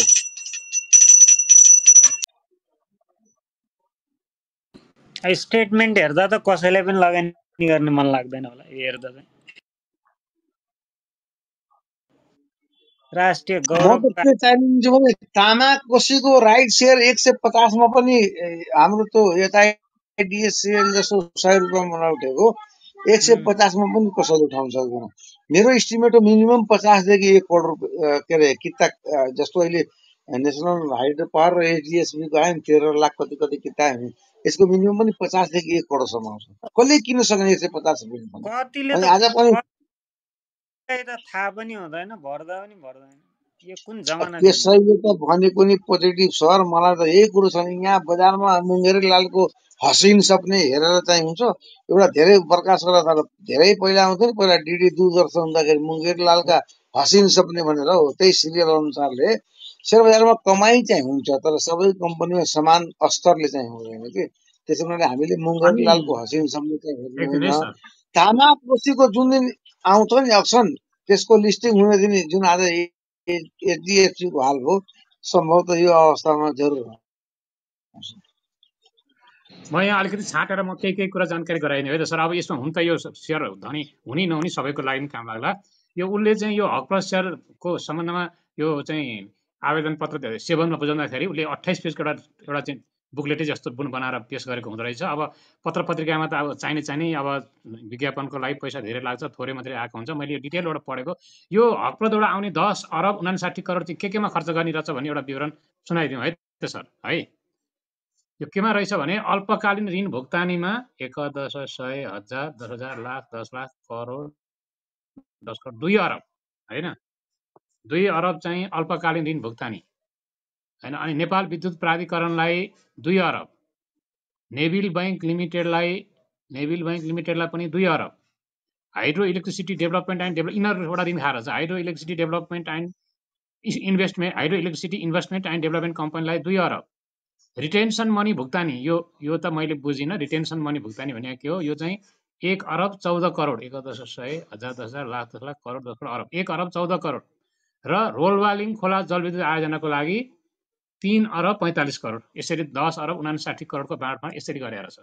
यसरी चाहिँ यो पैसाको प्रयोग चाहिँ यहाँ यस्तो यस्तो ठाउँमा गर्ने भनेर भनेर छ। है? ल उता सिप्रोको दरबार नै खुला छ अरे है ल। ल उता जाने त अनि अब यता उता दुईतिर यो एकै ठाउँमा यो दुईटा फेरि यता उता मान्छे बाँडिने त्यही भनेको छु ल कसैले तपाईँहरू मिलाउनु ल। म त जता नै एकछिन हाजिर हुनु पर्यो बधाईसँग दिएर आएँ गएर। म त जहाँ बोलिरहन्छ नि त्यहीँ त्यहीँ जाने हो। अब गएर कुरेर को बोल्ला भनेर कुरेर भएन त जान्न म त। कुरेर भएन त जान्न। उद्घाटनको दिन सर पहिले स्थापना भएको दिन गएर बधाई दिएर एकै मिनटमा अनि फर्केर आएको हो सर म त। ल म जान्छु म जान्छु एकछिन। म जान्छु नि एकछिन त्यहाँ गएर। खै रुम त देखाउँदैन त प्रकाश सर हामीलाई त। छ मलाई मलाई देखाएको छ मलाई देखाएको छ फलो छैन क्या हो त फलो फलो गरे हुनु पर्यो फेरि दोहोऱ्याएर पनि पर्छ कि तपाईँहरू छलफल गरेर म सिप्रोलाई गएर फलो गर्ने कि व्यक्ति फलो गर्ने कि के हो सिपी सर सिप्रो सिप्रोको दरबार हाउसलाई फलो गर्ने ए यहाँ हाउसै देखाउँदैन कहाँ फलो गर्नु त अनि त्यो हाउस सर्चमा जानु न सर माथि टिभीमा गएर हाउसको सर्च गर्नु न हस् हस्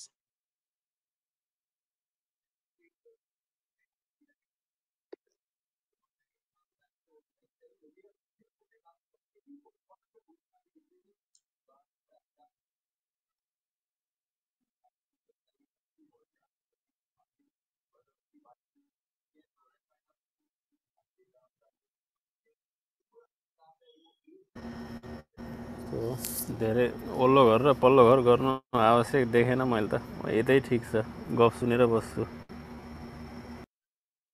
ठिकै छ। होइन मैले अब एकचोटि पहिला पनि त्यो सिप्रोको दरबारमा बसिन्थ्यो त्यसले गर्दा ल बधाई छ भनेर चाहिँ हो यस्तो हो सल्लाह गर्ने र सुन्ने कुरो हो। सल्लाह गरेर सुन्ने भनेको जहाँ पनि आफ्नो ठाउँमा छ कसैलाई उता देखाउँछ उता सुन्नु होइन सल्लाह अब जहाँ पनि गर्न सकिन्छ। मलाई त जहाँसम्म के लाग्छ भने जहाँ अब सल्लाह गरिन्छ जहाँ विश्वास गरिन्छ त्यहाँ बसौँ। उता पनि नराम्रो त नहोला। आफ्नो ठाउँमा जाने त भर्खर यहीँबाट त गएका मान्छे हुने तिनीहरूले तिनीहरूसँग जति गिटीमा छ त्यतिकै त दिने हो नि। गिटीभन्दा बाहेक त कसैले केही दिन सक्दैन।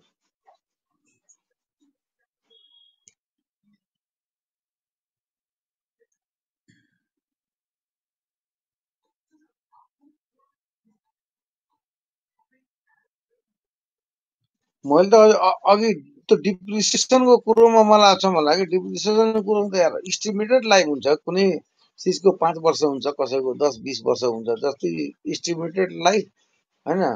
भागा त्यसको प्राइस गर्ने हो त्यही अनुसारले वार्षिक डिभिडेन्ड काट्नु कुरो सकियो त्यसमा त कुनै दुई मात्रै छ यसमा त इस्टिमेटेड लाइफ र त अनि तामाकोसीको बारेमा धेरै कुरा भएर मात्रै पनि एकछिन माथि आएको बोल्नलाई खास।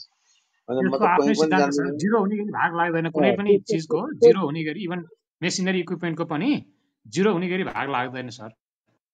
जिरो चाहिँ गर्दैन। त्यही त भनेको सर। त्यो त मैले त्यही भने त्यसको आफ्नो इस्टिमेटेड लाइफ र डिभाइडेड बाई प्राइस हुन्छ जति हुन्छ प्रत्येक वर्ष काट्छ। इस्टिमेटेड लाइफ भनेको अब ल्यान्ड एन्ड बिल्डिङ एउटा हुन्छ गाडीको एउटा हुन्छ कम्प्युटर ल्यापटपको एउटा हुन्छ फर्निचरको एउटा हुन्छ। काट्ने भनेको त्यही हो कि बहन सर अनि अर्को यो सँगसँगै अर्को कुरो आएको थियो नि जस्तै डिप्रिसिएसन काटेर अब त्यो भनेको त उता खर्च जनाइन्छ यता ल्याबिलिटी भइहाल्यो संस्थाको।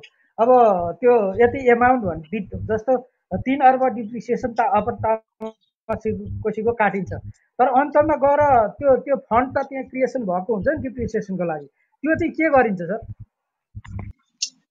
होइन त्यो यस्तो हुन्छ डिप्रिसिएसन भनेको त्यो अब त्यसको इस्टिमेटलाई गरिकन त्यो जहिले मर्छ त्यति बेलासम्म त्यति पैसा जुटाएर चाहिँ त्यही बराबरको चाहिँ त्यसको सेयर होल्डरहरू चाहिँ नमरौँ वा त्यही बराबर अर्को कम्पनी खडा गरौँ भन्ने चाहिँ उद्देश्य हुन्छ त्यो के हुन्छ भन्ने कुरो त्यहाँको सञ्चालक समितिले निर्णय लिने हो कि मेरो चाहिँ यो प्रोजेक्ट नमरोस् वा मेरो यो मैले गाडी किने पनि मेरो गाडी मेरो ल्यापटप कम्प्युटर किने पनि यो नमरोस् भन्ने एउटा उद्देश्य हुन्छ क्या डिप्रिसिएसन काट्नु भएको ताकि त्यो दिन म फेरि त्यो चिज किन्न चाह्यो भने किन्न सकु भन्यो भने मैले आफ्नो कम्पनीमा यसलाई राख्न सक्छु। होइन चार सौ वर्षको तिन तिन अर्ब रुपियाँ त्यहाँ छुट्याउँदा आखिर त्यो फन्ड त एउटा क्रिएट भइराखेको हुन्छ। अब त्यसले नै यदि छुट्याएर छुट्टै राख्ने हो भने लोन त्यसले किन नतिर्ने त्यो पैसाले भन्ने कुरो नि। अथवा अरू काम किन नगर्ने भन्ने कुरो नि। गर्न सक्छ कि सक्दैन होइन त्यो त उसले त्यो त्यो कमिटीको उसमा हुन्छ उसले चाह्यो भने त गर्न सक्छ। त्यो डिप्रिसिएसन जे जति काटे पनि अब त्यो चलाक मान्छेले त लोनै तिर्छ। होइन भने फेरि उसले अर्को प्रोजेक्सन लगानी गरेर छ त्यहाँबाट चाहिँ आफ्नो बजेट सूचकलाई चाहिँ सारेर अन्ततिर लग्छ के? त्यस्तो पनि हुन्छ।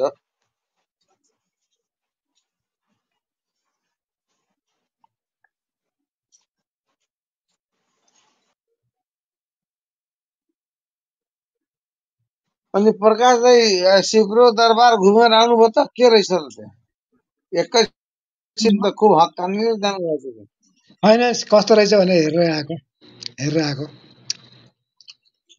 के हुन्छ? तपाईँ जहाँ बस्नु भएको छ म बसेको त? गिदी अनुसार जहाँ पनि कुरो यहाँ यहाँ जति दिमागमा गिदी छ त्यही अनुसारले त कुरो सेयर बजारमा अब अघि पनि मलाई पोजिटिभले पोजिटिभले भन्दै हुन्थ्यो अहिले त कसैले सेयर बजारमा कमाएको एउटा जस्तो अस्ति दुई वर्ष अगाडि हाम्रो त्यो एउटा हुन्छ नि त्यो एउटा त्यो अमेरिकाबाट आएको हाम्रो एकदम आफूलाई प्रोफेसर साहब भन्ने।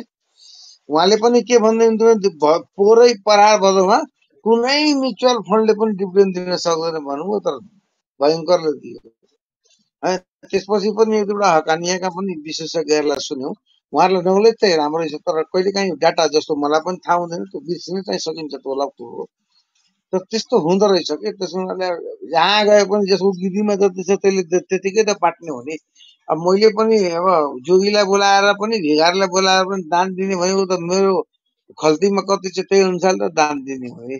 त ज्ञान बाँट्ने भनेको पनि त मेरो गिदीमा कति ज्ञान छ त्यही त बाँड्ने हो नि। अनि यहाँबाट उहाँ गएर उहाँबाट उहाँ गएर ज्ञान भएको मान्छे जानु भनेको त राम्रै कुरो होला। ज्ञान नै भएकोमा होड र भिड हेरेर मात्रै गएपछि त कहीँ गए पनि ज्ञान भएको त बाँड्नु ज्ञान नभएको मान्छेले त के बाँड्छ उसले त आफै ज्ञान खोज्न आइहाल्छ। जस्तो म पनि हुँ। म ज्ञान खोज्न क्लब हाउसमा बेलामा आइहाल्छु मेरो आफ्नो स्तरको ज्ञान छ तर मलाई यहाँबाट अर्को स्तरको ज्ञान पाउँछ जसले मलाई काम गर्छ। त्यसो हुनाले हामीले यो पनि बुझ्नु पर्यो के प्रकाश है त?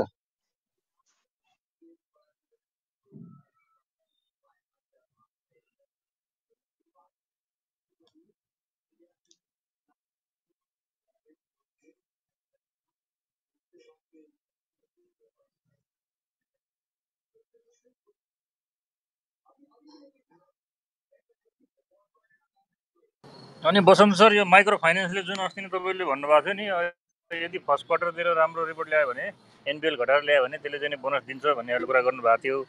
यो कुरामा अहिले पनि तपाईँ अडिक हुनुहुन्छ कि चेन्ज हो तपाईँको धारणा? अरुणजी मैले त स्वावलम्बनको विषयमा भनेको छिमेक सिमुल दिइहाल्छ फरवर्ड मैले लेखेर प्रकाश गरेर पठाइदिन्छु एभरेस्टको पनि पठाइदिन्छु अस्ति पनि मैले एउटा फेक आइडीबाट आज पनि पठाइदिन्छु त्यहाँ अलिकति राम्रो इन्डियन र नेपाली इन्भेस्टर भर्छ भोलि यही पर्सिमा तपाईँको यो आउँदैछ एभरेस्टको होइन त्यहाँ अलिकति केही कन्ट्रिब्युसन छ इन्डियन इन्भेस्टर र नेपाली इन्भेस्टरको अब इन्डियन इन्भेस्टरले जहिले पनि क्यास बढी र बोनस कम चाहन्छ नेपाली इन्भेस्टरले चाहिँ के छ भने बोनस बढी क्यास अलिकति कम चाहिन्छ मैले स्वावलम्बनको भनेको हो मेरो पहिलो सत के हो भने त्यसको फर्स्ट क्वार्टरमा यदि आउँछ भने आउँछ। होइन भने त्यसको रिटर्न अन अर्निङमा यति पहिला कमाइ छ म यसपालिको बाँड्दिनँ पुरानैबाट पनि बाँड्छु भन्दा उसले पन्ध्रदेखि पच्चिस पर्सेन्ट आरामले बाँड्न सक्छ क्या त्यो तपाईँ यताउतिको कसैको चान्चुङको कुरै नसुन्नुहोस् क्या किन यसो हाम्रो यहाँ ज्ञान बाँच्ने मान्छे आउँछ नि तिनीहरू जान्छन् चाहन् के पनि हुँदैन बाँड्छन् मात्र हुँदैन कि? तपाईँले भने मैले लेखेर राखेको छु मैले रजिस्टर मेरो यहीँ उसमै छ मैले खोज्नु पर्यो भने छ?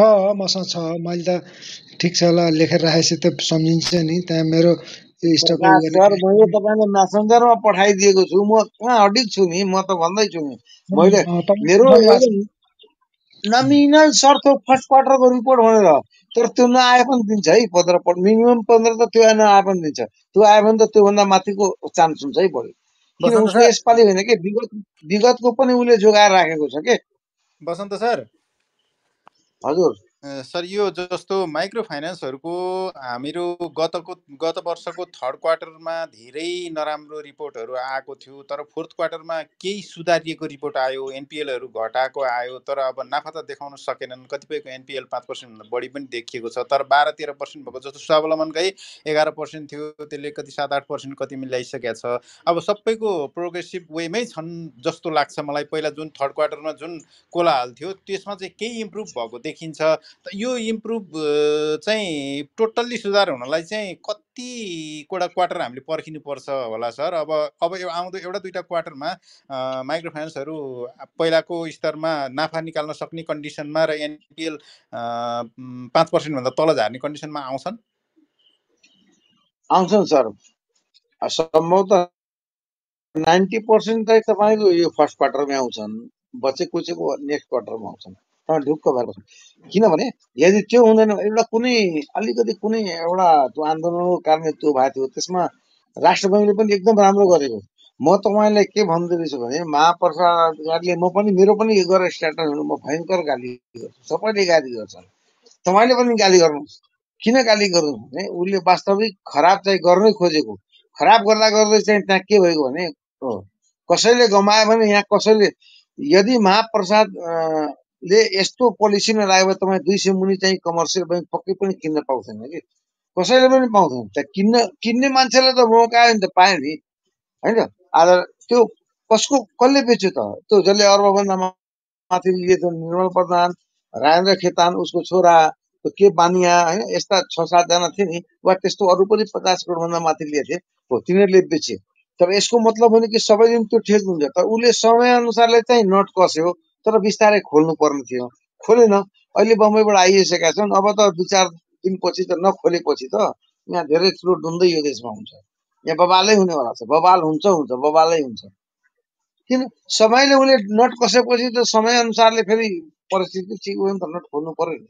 नट नखोल्ने कसै बेला कस्दिने अनि त्यहाँनिर चाहिँ पार्टीगत चाहिँ यसो म्यानिपुलेट गरेर हुन्छ। म्यानिपुलेट गर्न कसैले पाउँछ?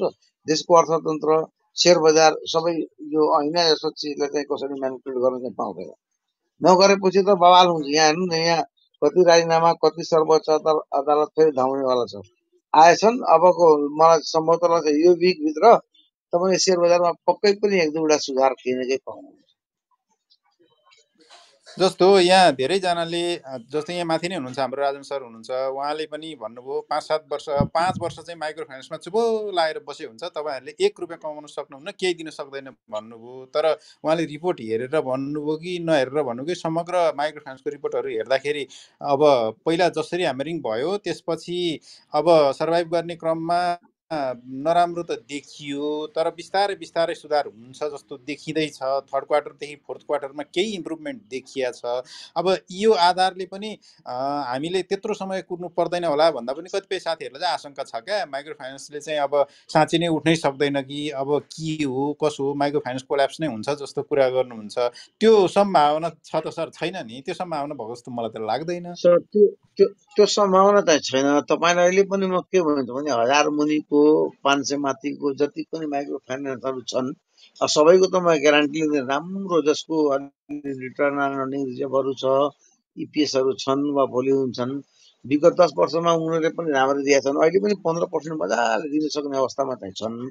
त्यसो हुनाले यो भ्रममा चाहिँ कसैले नपरे हुन्छ। यो अलिकति पोलिसीले पनि हिट गरेर त्यसको स्थिति परिस्थिति अनुसारले चाहिँ त दुर्गा प्रसाईको आन्दोलन र राष्ट्र बैङ्कले पन्ध्र पर्सेन्टको क्याप लगाएपछि त्यो त अर्को अर्को क्वार्टरमा अर्को मौद्रिक नीतिको समीक्षामा कुनै यसो एउटा कुनै सर्कुलरले पनि सचिन सक्छ कि? यो देशमा माइक्रो फाइनेन्स नि यही बैङ्कहरूले नै कतैबाट चाहिँ एउटा एउटा कुनै न कुनै लेभलको मान्छेलाई चाहिँ सहयोग होस् भनेर गएको आज पनि माइक्रो फाइनेन्सको नियम चाहिँ पन्ध्र पर्सेन्टभन्दा बढीमा लोन नदिने भन्ने छ। यदि छ भने राष्ट्र ब्याङ्कले कम्प्लेन गर भनेर भनेको छ। उनीहरूले गर्नु पर्यो। होइन भने यहाँ विकास ब्याङ्क र कमर्सियल ब्याङ्कले त सत्र अठार पर्सेन्ट दिएको हाम्रो देशमा छ नि। माइक्रो फाइनेन्सले पन्ध्र पर्सेन्ट मात्र इन्ट्रेस्ट लिँदाखेरि अब त्यसमा कसैले कसैलाई मिसयुज गरेर गऱ्यो भने त मिटर ब्याजी जस्तो हिसाबले चाहिँ त्यो कम्प्लेन गर्नु पर्यो। राष्ट्र ब्याङ्कले ओपेन नम्बर दिएको छ सबै कुरो ओपेन गरिदिएकै छ।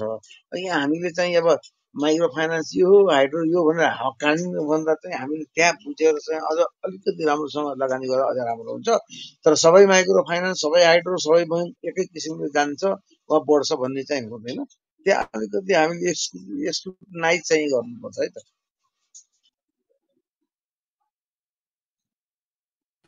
यो पन्ध्र पर्सेन्टको क्याप त हाम्रो बसन्त सर यसपालि मात्रै होला अर्को पालि त छोडिदिन्छ होला राष्ट्र ब्याङ्कले। किनभने अब यो यो कठिन परिस्थितिमा मात्रै उसले यो पन्ध्र पर्सेन्टको क्याप गरे जस्तो लाग्छ मलाई। यसो छ कि अरू छ योभन्दा यो- योभन्दा पहिले पनि थिएन यसपालि पनि छ। सायद यसपालि डिभिडेन्ड पास गर्न जाँदाखेरि केही कम्पनीहरूको त्योभन्दा पनि बढेर आउँछ। तपाईँ ढुक्क हुनुहोस्। अलिकति दुर्गा प्रसाईको आन्दोलनमा राष्ट्र बैङ्कले पानी मात्रै पठाइदिएको पेट्रोल सकिएको होइन यो समयअनुसारले सबै परिस्थिति ठिक हुन्छ। किन राष्ट्र बैङ्कलाई पनि थाहा छ के? विकास बैङ्क र कमर्सियल बैङ्कले सत्र अठार पर्सेन्टमा चाहिँ लोन दिँदाखेरि चाहिँ माइक्रो फाइनेन्सले पन्ध्र पर्सेन्टमा पनि टिके। बरु आफ्नो एनपिएल बढाए तर टिके दिएको छन्। र यदि माइक्रो फाइनेन्सले दिँदैन भने गाउँ गाउँमा गाई भैँसी किन्नलाई तपाईँ पनि गाउँमा छ भने हेर्नुहोस्। ठिक छ कोही कसैले लिएर कसैले जानै खायो होला कसैले रक्सी खायो होला जुवा तास खेल्यो होला पाँच दस पर्सेन्ट त्यस्ता पनि हुन सक्छन्। तर त्यस्तै छन् भन्ने कुरो अब माइक्रो फाइनेन्स बन्द गरिदिने वा कसैले उद्योग खोल्छु भनेर गएर जाँड सिकाएर चाहिँ अब हाम्रो इन्डियामा निरव मोदी र हाम्रो त्यो के के छन् त्यो एउटा त्यो किङ फिसरवाला? के अरे त्यो विजय माल्या त्यस्ता त्यस्ता गरेर मान्छेहरू हेरेर चाहिँ हुँदैन के के पनि। विजय माल्या सर विजय माल्या। विजय माल्या विजय माल्या विजय माल्या निरव मोदीलाई हेरेर हुँदैन के? त्यसो भने हामी त्यति सोच्नु पर्दैन यस्ता कुरोहरू यो सबै यो क्लब हाउसमा सेयर बजारमा मात्रै आउँछन् तर भित्र राष्ट्र ब्याङ्कमा चाहिँ यसको गुड मूल्याङ्कन भइरहेको हुन्छ यो ढुक्क गरेर बस्नुहोस्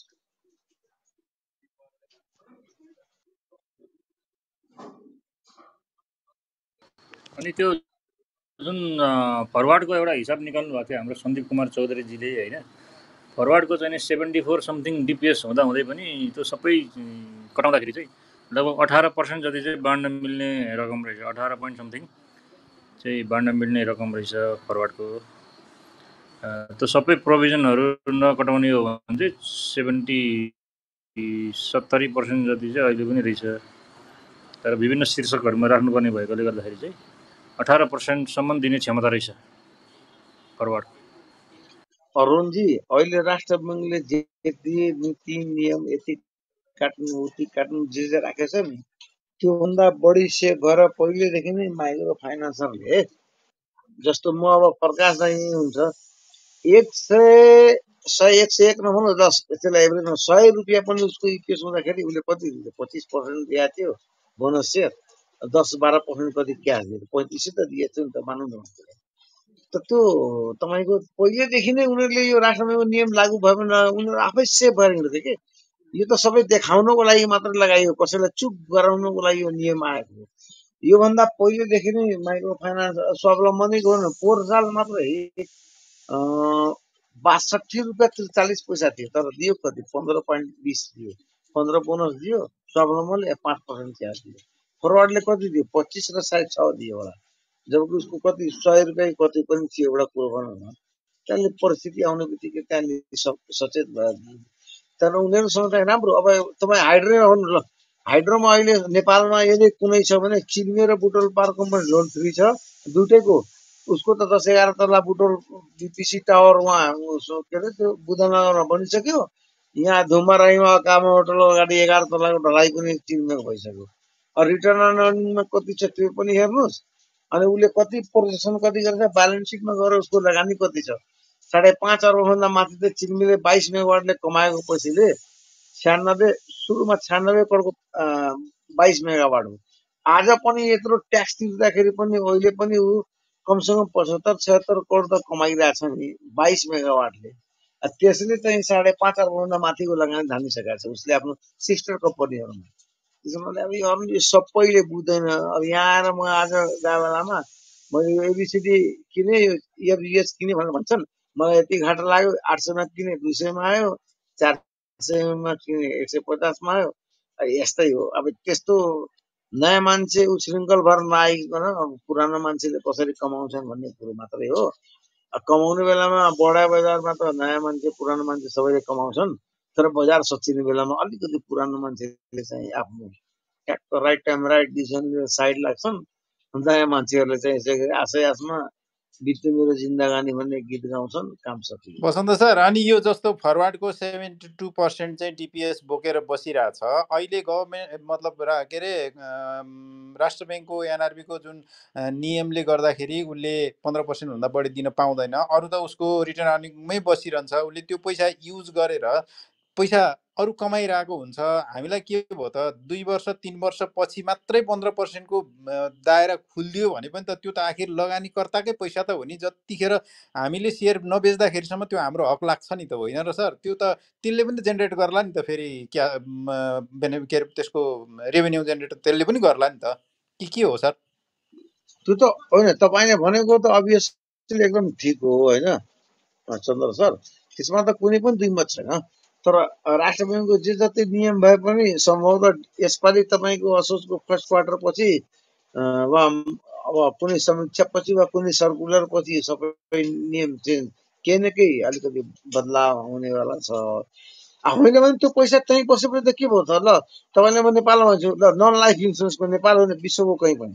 नन लाइफ इन्सुरेन्सले तपाईँले कुनै अलिक पुँजी वृद्धिको प्रेसर छैन भने राइट बोनस पनि दिँदैन। कुनै नन लाइफ इन्सुरेन्सले साठी रुपियाँ कमाउँछ त्यसो भने त्यसले मुस्किलले बिस पर्सेन्ट दिन्छ के त्यसको मतलब त्यो खराब हो? किन नन लाइफ इन्सुरेन्सको चाहिँ इपिएस वा त्यसले इस्टिमेटेड दिने डिभिडेन्ड अनुसारले किन प्राइस माथि चाहन्छ न त नन लाइफ इन्सुरेन्स तपाईँले कमर्सियल ब्याङ्कसँग दाज्नुहुन्छ भने त नन लाइफ इन्सुरेन्स जिरो छ नि। डिभिडेन्डको हिसाबले सबै कुरोबाट हेर्नुहोस् न तपाईँ। तर नन लाइफको आफ्नै फ्युचर छ कमर्सियल ब्याङ्कको आफ्नै फ्युचर छ अनि यो माइक्रो फाइनेन्सको पनि आफ्नै फ्युचर छ। फिचर्स अनुसारले छ त्यो तपाईँले भनेको कुरो चाहिँ एकदम ठिक हो। नदिए पनि मेरै खातामा रहन्छ होइन? के भयो त? मेरो गाउँको भकारीमा अब एक कुन्टल नभनौँ दस कुन्टल धान चामल छ अरे मैले दुई कुन्टल मात्रै गरेँ दुई कुन्टल बाँटिदिएँ चार कुन्टल छ कुन्टल त मेरो स्टक पनि अर्को साल फेरि दस कुन्टल आयो भने त अब सोह्र कुन्टल भने फेरि अर्को साल मैले दुई कुन्टल खाउँला अब चार कुन्टल बाँडे पनि मेरो त ढुक्टी त सकिँदैन नि। यस्ता कुराहरू चाहिँ हुन्छन्। यो हामीले बुझ्नुपर्ने कुरो यसमा केही पनि फरक पर्दैन चन्द्र सर। जस्तो एउटा मेरो एउटा देखिया छ नि त सर जस्तो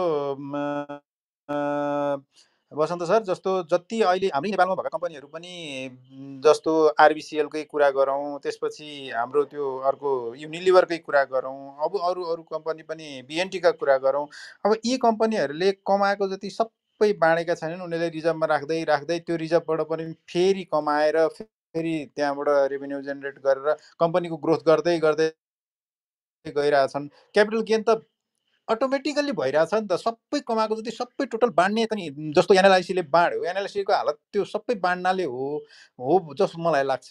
बरु त्यसो गरेर सर्टेन पर्सेन्ट चाहिँ त्यसरी राख्न थाल्यो भने त कम्पनी स्ट्रङ भयो भने त भोलि त्यसको बुक भ्यालुको आधारमा पनि त हामीले त्यो मार्केट प्राइस त बढ्ला नि सर होइन र?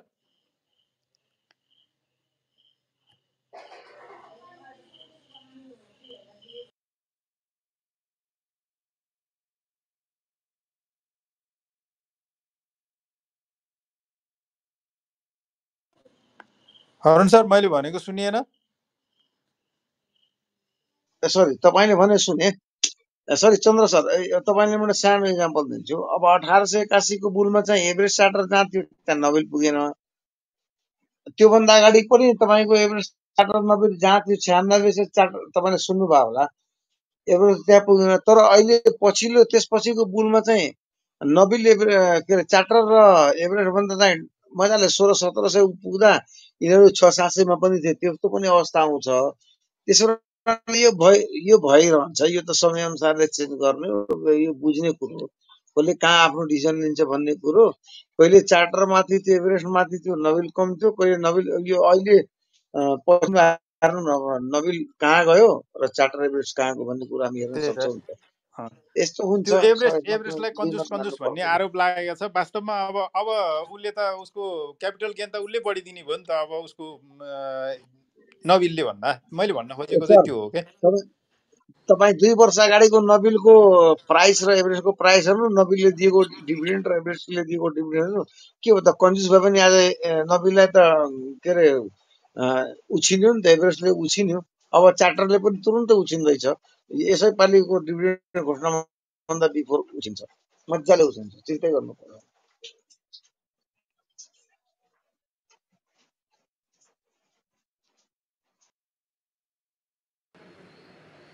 बसन्तर एउटा कुरा भन्नु त एकजना महिलाको मैले आज त्यो हेरेँ होइन मेरो सेयर एकाउन्ट हेर्दाखेरि त्यो अप्पर तामागोसीको चाहिँ नाइन्टी सेभेन किता आइपिओ परेको रहेछ। यो कसरी सम्भव भयो? नाइन्टी सेभेन किता? उहाँ यसो होला उहाँ कर्मचारी सेयर भर्नुभयो होला त्यही भएर होला। त्यो यसो छ कि?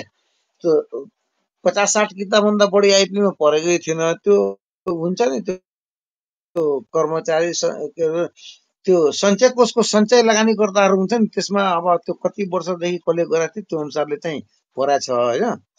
सञ्चय कोषको लगानीकर्ताको हिसाबले चाहिँ परेको थियो आफ्नो पैसा अनुसारले दुई सय म्याक्सिमम् दुई सय बयानब्बे किताब मिनिमम कसले कति पैसा हालेछ त्यो अनुसारले स्थानीय त होइन अरुण सर स्थानीयको हुनसक्छ है त्यो। स्थानीय होइन उहाँ एउटा पेसामा शिक्षिका हो अहिले रिटायर हुनु भएको छ होइन? मैले बुझिसकेँ। भने जस्तो पैसा कम हाल्नुभयो होला नत्र दुई सय तिरानब्बे किताब। यसो छ कि पाँच लाख रुपियाँ सुन्नु न पाँच लाख रुपियाँ हाल्नेलाई म्याक्सिमम् दुई सय बयानब्बे किताब परेको थियो उहाँले कति पैसा हाल्नुभयो त्यो अनुसारले उहाँको त्यो पैसाको क्वान्टिटीमा चाहिँ डिभाइड गर्दा उहाँलाई पर्यो हो। तर ढुक्क हुनुहोस् अरू सर बाँकी दिमाग लाउनै पर्दैन। भनेपछि उहाँलाई कुन कोटा मार्फत चाहिँ जारी भयो त्यो? उहाँले होइन उहाँले पचास हजारभन्दा बढी हाल्नु किन? पचास हजारलाई सायद बहत्तर किता सत्तर किता यस्तै कति परा थियो। उहाँले पचास हजारभन्दा अलिकति बढी पैसा हाल्नुभयो उहाँको भागमा सन्तान। तपाईँले भने सही कुरो सञ्चयकर्ता सञ्चयकर्ता हो। सञ्चय कोषको लगानीकर्ताको सञ्चयकर्ताको हिसाबले पर्यो उहाँलाई भनेपछि त्यो कर्मचारी कस्ता कस्ता मान्छेहरूले चाहिँ त्यो भर्न पाउँछन् सर? जस्तै अहिले अहिले जुन हाम्रो आइपिओहरू डेली खोलिरहेको हुन्छ नि। यसमा पनि त्यसमा कस्तो त्यसमा सुन्नु न म त्यसमा सञ्चय कोषमा जसको सञ्चय कोष जुन सुरक्षित हुन्थ्यो नि कुनै पनि अफिसरको अब उहाँ शिक्षिका हो वा कुनै पनि प्राइभेट ब्याङ्कको पनि सञ्चय कोषमा यदि कसैले चाहिँ सञ्चय कोष काटिएको थियो भने तिनीहरूले पनि पाएको थियो कि भर्नलाई तर कति पैसा कसले हालेको थियो? जस्तो पाँच लाख हाल्नेलाई दुई सय बयानब्बे पचास हजार हाल्नेलाई सायद बहत्तर अनि पैसा अनुसारको बाँडफाँड थियो। अब ट्याक्क त मलाई पनि कति थाहा हुन्छ तर उहाँले चाहिँ पक्कै पनि पचास हजारभन्दा सञ्चयकर्ताको हिसाबले हालेको। पचास हजारभन्दा बढी पैसा हाल्नु मात्रै भर्न पाइयो कि? अरू पनि धेरै कम्पनीहरू छन् यस्ता कम्पनीहरू। होइन सञ्चय सञ्चय कोषको लगानीकर्ताले त मलाई जहाँसम्म लाग्छ एउटा अफरको चाहिँ अभियसली भर्न पाएको हो। रसुवागढी सान्जिनको त त्यो लिमिटकोमा चाहिँ पाएको थिएन। अब अरू कुनै भए म यसो हेर्नुपर्छ लिस्टमा तर मलाई सञ्चय कोषको सञ्चयकर्ताको हिसाबले चाहिँ अप्परमा पाएको मात्रै होला है मलाई जहाँसम्म बसन्त सर यस्तो हो सञ्चय कोषको लगानी सञ्चय कोषको लगानी भएको कुनै पनि प्रोजेक्टमा सर्टेन पर्सेन्ट सञ्चय कोषको कर्मचारी बचतकर्ता सञ्चयकर्ताको लागि सञ्चयकर्ताको हुन्छ। हो छुट्याइएको हो। सञ्चय कोषको लगानी जुन जुन प्रोजेक्टमा छ ती प्रोजेक्टहरूमा सञ्चयकर्ताहरूले पाउँछन्। त्यही अन्तर्गत पाएको कि उहाँले सन्तानब्बे किता हो भने। उहाँले अब सत्तर अस्सी हजार कति हाल्नु भएको त्यही हिसाबले पायो होला। पचास हजारमा त सत्तर बहत्तर हजार किताब पाएको थियो। पाँच लाखलाई दुई सय बयानब्बे किताब पाएको थियो मलाई याद छ। मैले त मेरो दाइ पनि मैले धेरैजनाको भराएको। भरिदिनु भन्दा पनि मैले बरु तिमीहरू भरिदिनु मेरै पैसा हालिदिन्छु भनेर पनि मैले भराएको सबैलाई सबैको तर बिक्री पनि गराएँ मस्त मैले लगाइहालेँ बत्तिस सय नौ सय मेरो त पोर्टफोलियोमा मैले लेखिदिएको थिएँ। अप्पर भाइ किन अप्परको भयावह स्थिति अझै आउनु बाँकी छ। यसपालि मैले त अघि पनि भने नि पचास लाखदेखि एक करोडसम्म त अक्सनमा। आउँदैछ अक्सनमा कसले ठेक्ने थियो एक सय बिस एक्काइस बाइसमा पनि ठेक्न पच्चिसमा पनि यही इन्डेक्स लगभग त्यही एक सय पन्ध्र बिसतिर आउँछ कि क्या? ए सर आजको इन्डेक्स भएपछि त एक सय पच्चिस पनि आयो भने त्यसलाई आश्चर्य नमान्नुला सयमा पनि आउन सक्ला होइन? होइन भने त भयावह स्थिति हुन्छ अप्पर अप्परको लगानीकर्तालाई किन अब अप्पर फेरि यो देशमा चाहिँ उभो लाग्ने भने दुईवटा मात्रै बाटो छ। एउटा पिपिए रिभाइजेसन त्यो हुनै सक्दैन मुद्दा पर्छ होइन? र अर्को कुरो के छ भने सरकारले विद्युत प्राधिकरणले ग्यारेन्टी लिएर दुई पर्सेन्टमा कुनै विदेशी बैङ्कबाट चाहिँ लोन ल्याएर नेपाली बैङ्कको चुक्ता गरेर गरेपछि फेरि अप्परको चाहिँ राम्रो हुन्छ है। त्यो दिनदेखि सर्किट पनि लाग्न सक्छ। तर यो काम चाहिँ हुनु पर्यो। कि विदेशी बैङ्कबाट लगानी ल्याएर नेपाली ब्याङ्कलाई तिर्नु पर्यो कि त सरकारले पिपिएको रेट बढाइदिनु पर्यो। पिपिए रेटमा सबभन्दा अहिले ठगिएको भनेको अपर तामाकोसी हो त्यसको लगानीकर्ता हो। कमाएको भनेको नेपाल विद्युत प्राधिकरणले सबभन्दा बढी अपर तामाकोसीबाट हो। यो लेखेर राख्नुहोस्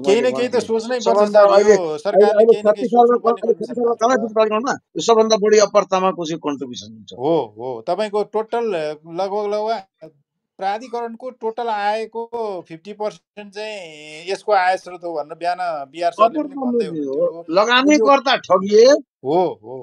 विद्युत प्रणालीकोले राम्रो कमाए। यसमा हामी त बुझ्ने मान्छेलाई प्रश्न अब तपाईँले यही इन्डेक्स भएपछि तपाईँले डेढ सयमा पनि अप्परको टिक्दैन रे। अप्परको त पचास लाखदेखि एक करोडसम्म अहिले अक्सनमा आउँदैछ। कसले किन्ने त्यो? एक सय पच्चिसमा पनि किन्ने कसको? त्यही एस एसडिएस कृषिको एउटा थियो हाम्रो एउटा के अरे त्यो एउटा त्यो सय रुपियाँमा नबिकेको एचआइडिसिएल त्यो हाल हुनेवाला छ पत्तामा खुसी केही न केही सोच सोच सोच्नै पर्छ प्राधिकरण अथवा सरकारले सोच्नै पर्ने हुन्छ। कि त लगानीकर्तालाई केही न केही दिनु पर्यो लगानीकर्तालाई दिनलाई कि त पिपिए रेट बढाउनु पर्छ कि त हजुरले भने यसो हुन्छ यसो हुन्छ सर। तपाईँले सोच्ने दुईटा बाटो छ। पिपिए रिभाइज गरेपछि मुद्दा पर्छ त्यहाँ। अख्तियारमा पनि जान सक्छ। कसैले त्यस्तो रिस्क लिन सक्दैन। सरकार र विद्युत प्राधिकरणले आफ्नो रिस्कमा दुई पर्सेन्टमा कुनै विदेशी बैङ्कबाट चाहिँ लोन ल्याएर चाहिँ नेपाली बैङ्कको सेटल गर्न सक्छ। सबभन्दा राम्रो कुरो यही हो न यो देशमा एउटा सरकार गर्ने अर्कोले अख्तियारमा हालिदिन्छ। मानु चन्द्र सरले चाहिँ आज प्रमुख हुनुभयो तपाईँले चाहिँ पिपिए रिभाइज गरिदिनु भयो अर्को कसैले सर्वोच्चमा मुद्दा आउँछ अर्को सरकार यो चन्द्रले चाहिँ त्यहाँ यति करोड घुस खायो अनि पिपिए पत्तामा खुसी जस्तो गरिदियो। अनि विद्युत प्राधिकरणले किन गर्छ? उसले त मजाले इन्डियामा बिजुली बेचेर उता एभरेजमा चार रुपियाँ पनि दिएको छ नि यता सोह्र रुपियाँ बिस रुपियाँमा बेचेर कमाउन पाएकै छ। त्यसो हुनाले अप्पर तामा कोसीलाई एजिट हुने पोलिसी भनेको सबभन्दा पिपिए रिभाइज होइन त्यहाँ मुद्दा पर्छ। गर्ने मान्छे पनि भोलि जेल जान सक्छ।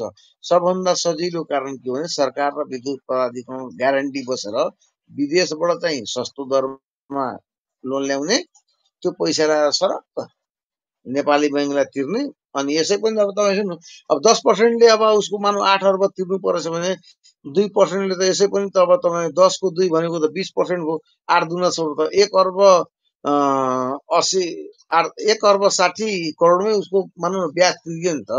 त्यो बिचको पैसा त उसको झुक्यो नि सबै। त्यसले डिभिडेन्ड पनि दिन पाइन्छ बाँड्न पनि पाइन्छ। त्यसो भने चन्द्र सर पिपिए रिभाइज चाहिँ धेरै गाह्रो छ। यहाँ धेरैजना तानिन्छन् मुद्दामा मामिलामा। तर सजिलो भनेको कुनै विदेशी ब्याङ्कबाट चाहिँ दुई पर्सेन्टको लोन ल्याएर चाहिँ अप्पर तामा कोसेलाई यदि सरकार हाम्रो यो राम्रो हो भने वा विद्युत प्राधिकरणले यदि चाहिन्छ भने अप्पर तामा कोसी लगानीकर्ताको हित चाहन्छ भने तिनीहरूले तुरन्त छ महिनाभित्र विदेशी बैङ्कबाट ल्याएर दुई पर्सेन्टमा दिनु पर्यो। अप्पर तामा कोसीलाई अप्पर तामा कोसीले नेपाली बैङ्कलाई बुझाउँछ काम सक्यो। यो भएपछि मात्रै के हुन्छ नभए के पनि हुँदैन जानुहोस् अप्पर तामाकोसी त सय रुपियाँमा पनि कसैले ठेक्न सक्दैन फेरि तामाकोसीमा अप्पर तामाकोसीमा लगानीकर्ताले पीडा भोग्नु पर्यो भने राष्ट्रिय गौरवका आयोजनाहरूमा फेरि क्वेसन उठ्न सक्छ त्यसकारण केही न केही गर्नै पर्छ क्या सरकारले यो चाहिँ यस्तो यस्तो हुन्छ के राष्ट्र गौरवको आयोजना त तपाईँ हामी लाख पचास हजार लगाउनेलाई पनि त्यहाँको जो हाली मुहाली थिए उनीहरूको लागि पनि त राष्ट्र गौरवको आयोजनामा नि। कसैले चारवटा बिल्डिङ यहाँ नेपालमै जोड्यो कसैले क्यानाडामा पनि छोरालाई किनिदिए अमेरिका अस्ट्रेलियामा पनि आफ्नो बुहारीलाई किनिदिए छोरीलाई किनिदिए। राष्ट्र गौरव त उनीहरूलाई भयो नि। विद्युत प्राधिकरणलाई पनि त राष्ट्र गौरवको आयोजना भयो नि। हामी लाख पचास हजार लगाउनेलाई मात्रै पो त राष्ट्र गौरवको आयोजनामा हाम्रो कन्ट्रिब्युसन भयो कि? हामीले त्यो पैसा मर्यो भनेर सयौँ हाम्रो लागि चाहिँ राष्ट्र गौरवको आयोजना भयो। होइन तपाईँले भने अनुसारले तर जसले अस्ट्रेलिया अमेरिका क्यानाडामा त्यहाँ तपाईँ कल्पना गर्न सक्नुहुन्छ राष्ट्र गौरवको त्यो आयोजनामा कति भ्रष्टाचार भएछ भनेर। त्यहाँ बाटो बन्दादेखि त्यहाँ स्कुल कलेज सबै बनेको छ। स्वास्थ्य चौकी पनि बनेको छ। त्यहाँ कति भ्रष्टाचार भएछ भने तपाईँले एक्चुली अलिकति अलिकति गहिरो गरी जानुभयो भने तपाईँ अचम्म मान्नु तामाकोसी बनाउनुको लागि भुइँचालोले पनि जति पैसा खर्च भएछ नि त्यसको ट्याक्कै डबल पैसा चाहिँ त्यहाँ भ्रष्टाचार मात्रै भएछ कि। छ छ एकदम एकदम। हरेक हरेक राष्ट्र गौरवको आयोजनामा भ्रष्टाचार नेपालमा चरमै छ सर। जस्तो पैँतिस अरबको आयोजना हो तामाकोसी अस्सी अर्ब पुग्यो। अब त्यस्ता आयोजनाहरू त तपाईँ फास्ट ट्र्याकको हेर्नुहोस्। हरेक आयोजनाहरू हेर्नुहोस् यहाँ त भ्रष्टाचारले चुरुमै छ देश त त्यो त एकदमै हो। ए सुन्नु न सर। फास्ट ट्र्याक तपाईँले कुरो फास्ट ट्र्याक भनेपछि त म डेढ घन्टा मेरो घर पुग्छु कसलाई म त त्यसको बारेमा म त्यो बाटोबाट कतिचोटि दुःख सुख गरेर हामी हिँडेर पनि आइसक्यौँ। अब कहाँ पनि अब त्यहाँ अहिले जुन सुरुङ खन्दैछ त्यहाँ त्यहाँ ढिलो गरेर मात्रै लागत कति गुणा बढ्यो भन्ने कुरो एकचोटि तपाईँ आखिरमा हामीले आर्मीलाई दियौँ नि आर्मीलाई दिएर पनि बरु त्यो इन्डियनलाई दिए भए नभए केही न केही कारवाही गर्न सकिन्थ्यो होला नि। आज आर्मीलाई दिएर पनि त्यसको लागत कति बढ्यो?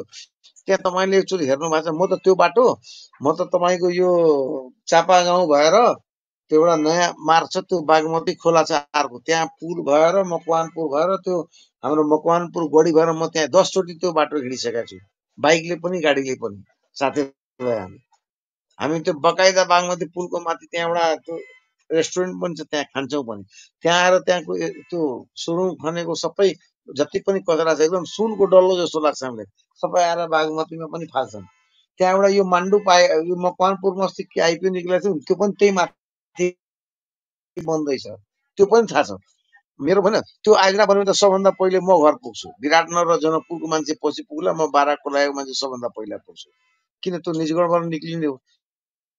त्यो जहाँ टुङ्गिन्छ त्यहाँबाट अठार किलोमिटर त हो नि मेरो घर। त्यो बन राजमार्गबाट सत्र अठार किलोमिटर कलै त्यसो भने मलाई त राम्रोसँग थाहा छ तर के छ भने के गर्नुहुन्छ? हाम्रो देशमा त्यस्तै छ। तपाईँले जहाँ राष्ट्र के अरे आयोजना भन्नुहुन्छ त्यहाँ राष्ट्र आयोजनाको हाली मुहालीको छोराछोरी क्यानाडामा अस्ट्रेलिया अमेरिकामा दुई चारवटा घर बनिसकेको हुन्छ।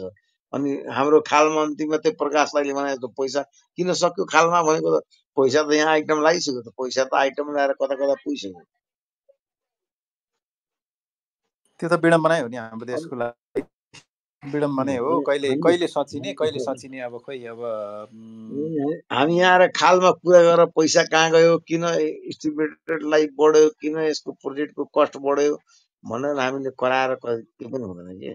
कोही छैन यहाँ। दुधको धोल कोही छ भने तपाईँले छोडिदिनुहोस् न। यो देशमा यत्रो मान्छे मारेर आएको मान्छे त अब तपाईँले देखिनु भएन नि त। मलाई त यो देशमा बाबुराम भट्टराई यो अब यो पुन सुन यो होइन अरू त म यो कुकुर बिरालोको त म काङ्ग्रेस एमालेको त मतलबै गर्थेन के। तर माओवादी पनि नसचिएपछि चाहिँ आज म जुन हाल हेर्दैछु यो महरा सराहरूको यो प्रचण्डको खानदानहरूको यताउति हेर्दाखेरि चाहिँ एकदम दुःख लाग्छ कि। धेरै ठुलो आशा गरेर चाहिँ एकचोटि मान्छेले पासा पल्टाएको थियो फर्स्ट चुनावमा। माओवादीले त राम्रो भोट लिएर आएको नि त त्यति बेला। तर के भयो अब त्यसपछि मलाई त महरा तपाईँहरूलाई थाहा होला तपाईँले त फर्स्टमा माओवादीसँग दिननाथ महराहरू एकचोटि आएको थियो नि फर्स्ट वार्ता हुँदा याद छ काठमाडौँमै? त्यसपछि त त्यो एकदम महराहरू त्यसपछि त झन् त्यो मन्त्री सन्त्री भएर त्यो पछि सभामुख भएपछि त महराहरूलाई पनि राम्रै मान्छे। फेसबुकमा त मैले अब बाबुराम भट्टलाई त अब नेपालको सबभन्दा बेस्टै नेता मान्थेँ कि? तर समय परिस्थितिले यो सब यो यसो हुँदो रहेछ क्या? आन्दोलन गर्नुपर्नेमा दुःख कष्ट गर्ने बेलामा चाहिँ नेपालीमा चाहिँ राम्रो एकता हुँदो रहेछ। सुख पायो भने चाहिँ सबै वैमनस्य चाहिँ तुरुन्तै छाइहाल्दो रहेछ कि? चन्द्र सर यसरी सकियो।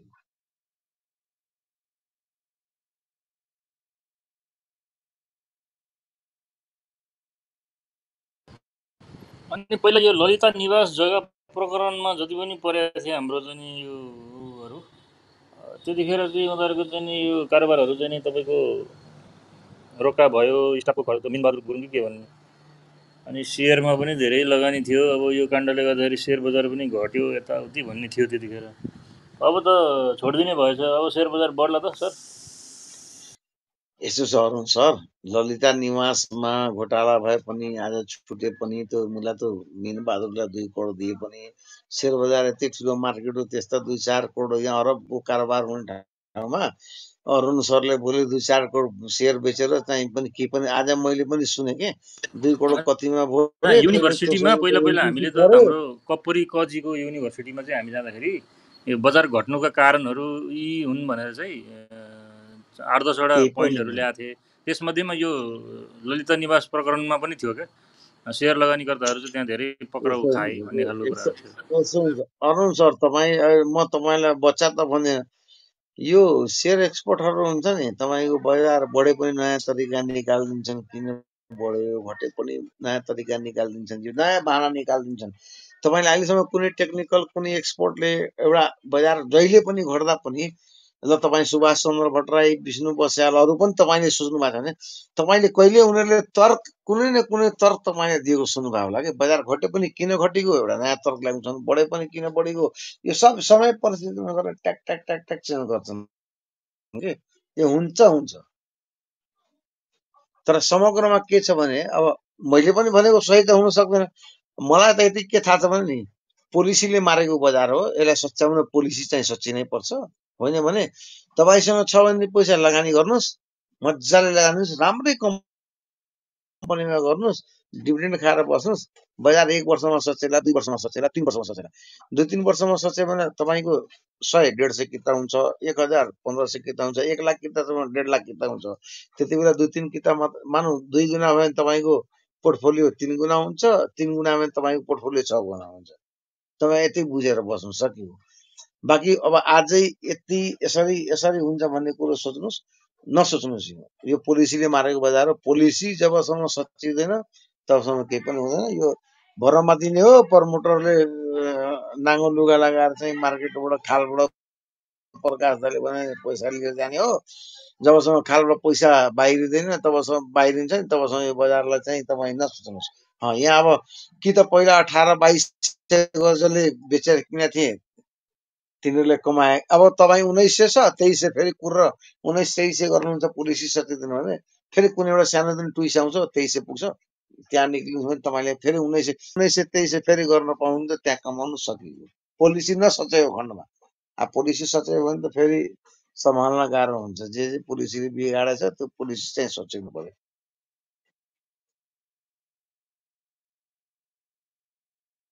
यो पोलिसी सोचियोस् कि नसोचियोस् यदि चाहिँ ठुला लगानीकर्ताहरूले पैसा जुटाएर चाहिँ तपाईँको सेयर कुम्ल्यायो भने बजार चाहिँ बुलमा जाने सम्भावना कतिको छ सर? तपाईँ यो कुरो भरम आफ्नो दिमागबाट निकाल्नु पोलिसी नसचिन्जेलसम्म कुनै ठुलो लगानीकर्तासँग पैसा छैन।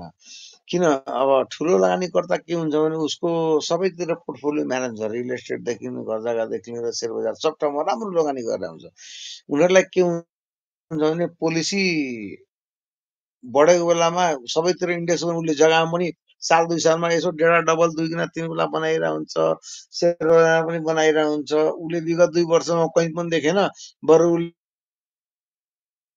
लसै खाएर भने मैले यत्रो पच्चिस तिस वर्षमा यता पनि कमाएँ यता पनि कमाएँ। अब म आज पाँच रुपियाँ थियो मैले पाँच सय रुपियाँ बनाएँ बरु सल्लाह अहिले पचास रुपियाँ घटेर पनि साढे चार सयमा हुन्छु भनेर उसले आफ्नो आइटम लगाएर चुप्प लगाएर बसिसक्यो।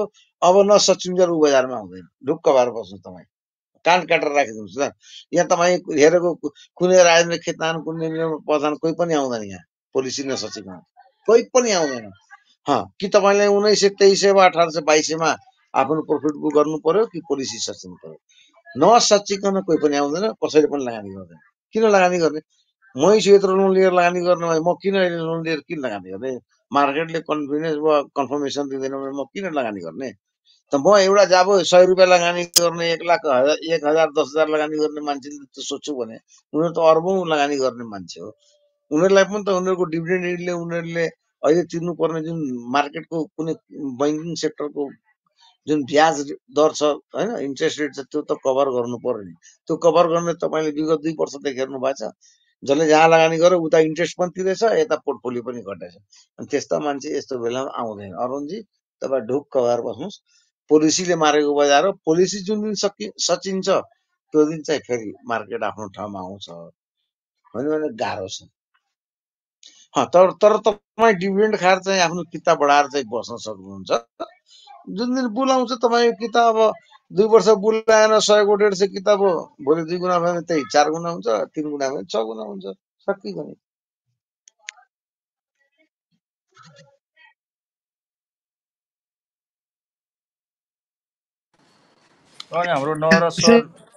यसैमा म एउटा थप कुरा म यसैमा एउटा अरुणजी यसैमा एउटा थप कुरा के भन्छु भने अब त जुन हामीले ठुलो लगानीकर्ताहरू भनेको छौँ नि उनीहरू अहिले जिरोमा चाहिँ बसेका छैनन्। उनीहरूले केही चाहिँ यसमै छ तर त्यो चाहिँ स्ट्रिक्टली डिभिडेन्ड बेस्ड कम्पनीमा मात्रै छन् जस्तो लाग्छ क्या। अहिले उनीहरूले स्पेकुलेसन गर्न चाहिँ लागेका हुँदैनन्। स्पेकुलेसन गर्ने भनेको उनीहरूले अर्कै अरूकै पैसाले हो। आफ्नो पैसाले चाहिँ लगाएछन् उनीहरूले तर स्ट्रिक्टली डिभिडेन्ड बेस्ड कम्पनीमा लगाएछन् अब भनौँ राजेन्द्र खेतानै भने पनि उनीसँग के जिरोको पोर्टोफोलियो त छैन नि आज। केही त छ नि।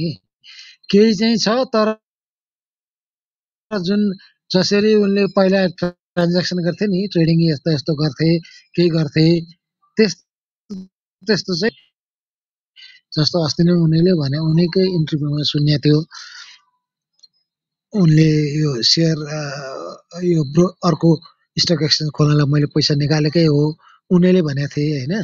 त्यस्तो त्यस्तोहरू चाहिँ कति होलान् तर उनीहरूले जिरो चाहिँ बनाएको हुँदैन। यति चाहिँ म दावाका साथ भन्न सक्छु। अब निर्मल प्रधानको के जिरो होला त पोर्टफोलियो छैन नि। छ उनीहरूको तर अहिले चाहिँ स्ट्रिक्टली उनीहरूले अब धेरै फिल्टर गरेर अब यतिसम्म राख्यो भने चाहिँ मलाई डिभिडेन्डले क धेरै थोरै कभर गर्छ भनेर चाहिँ उनीहरू त्यसरी बसेका हुन्छन्।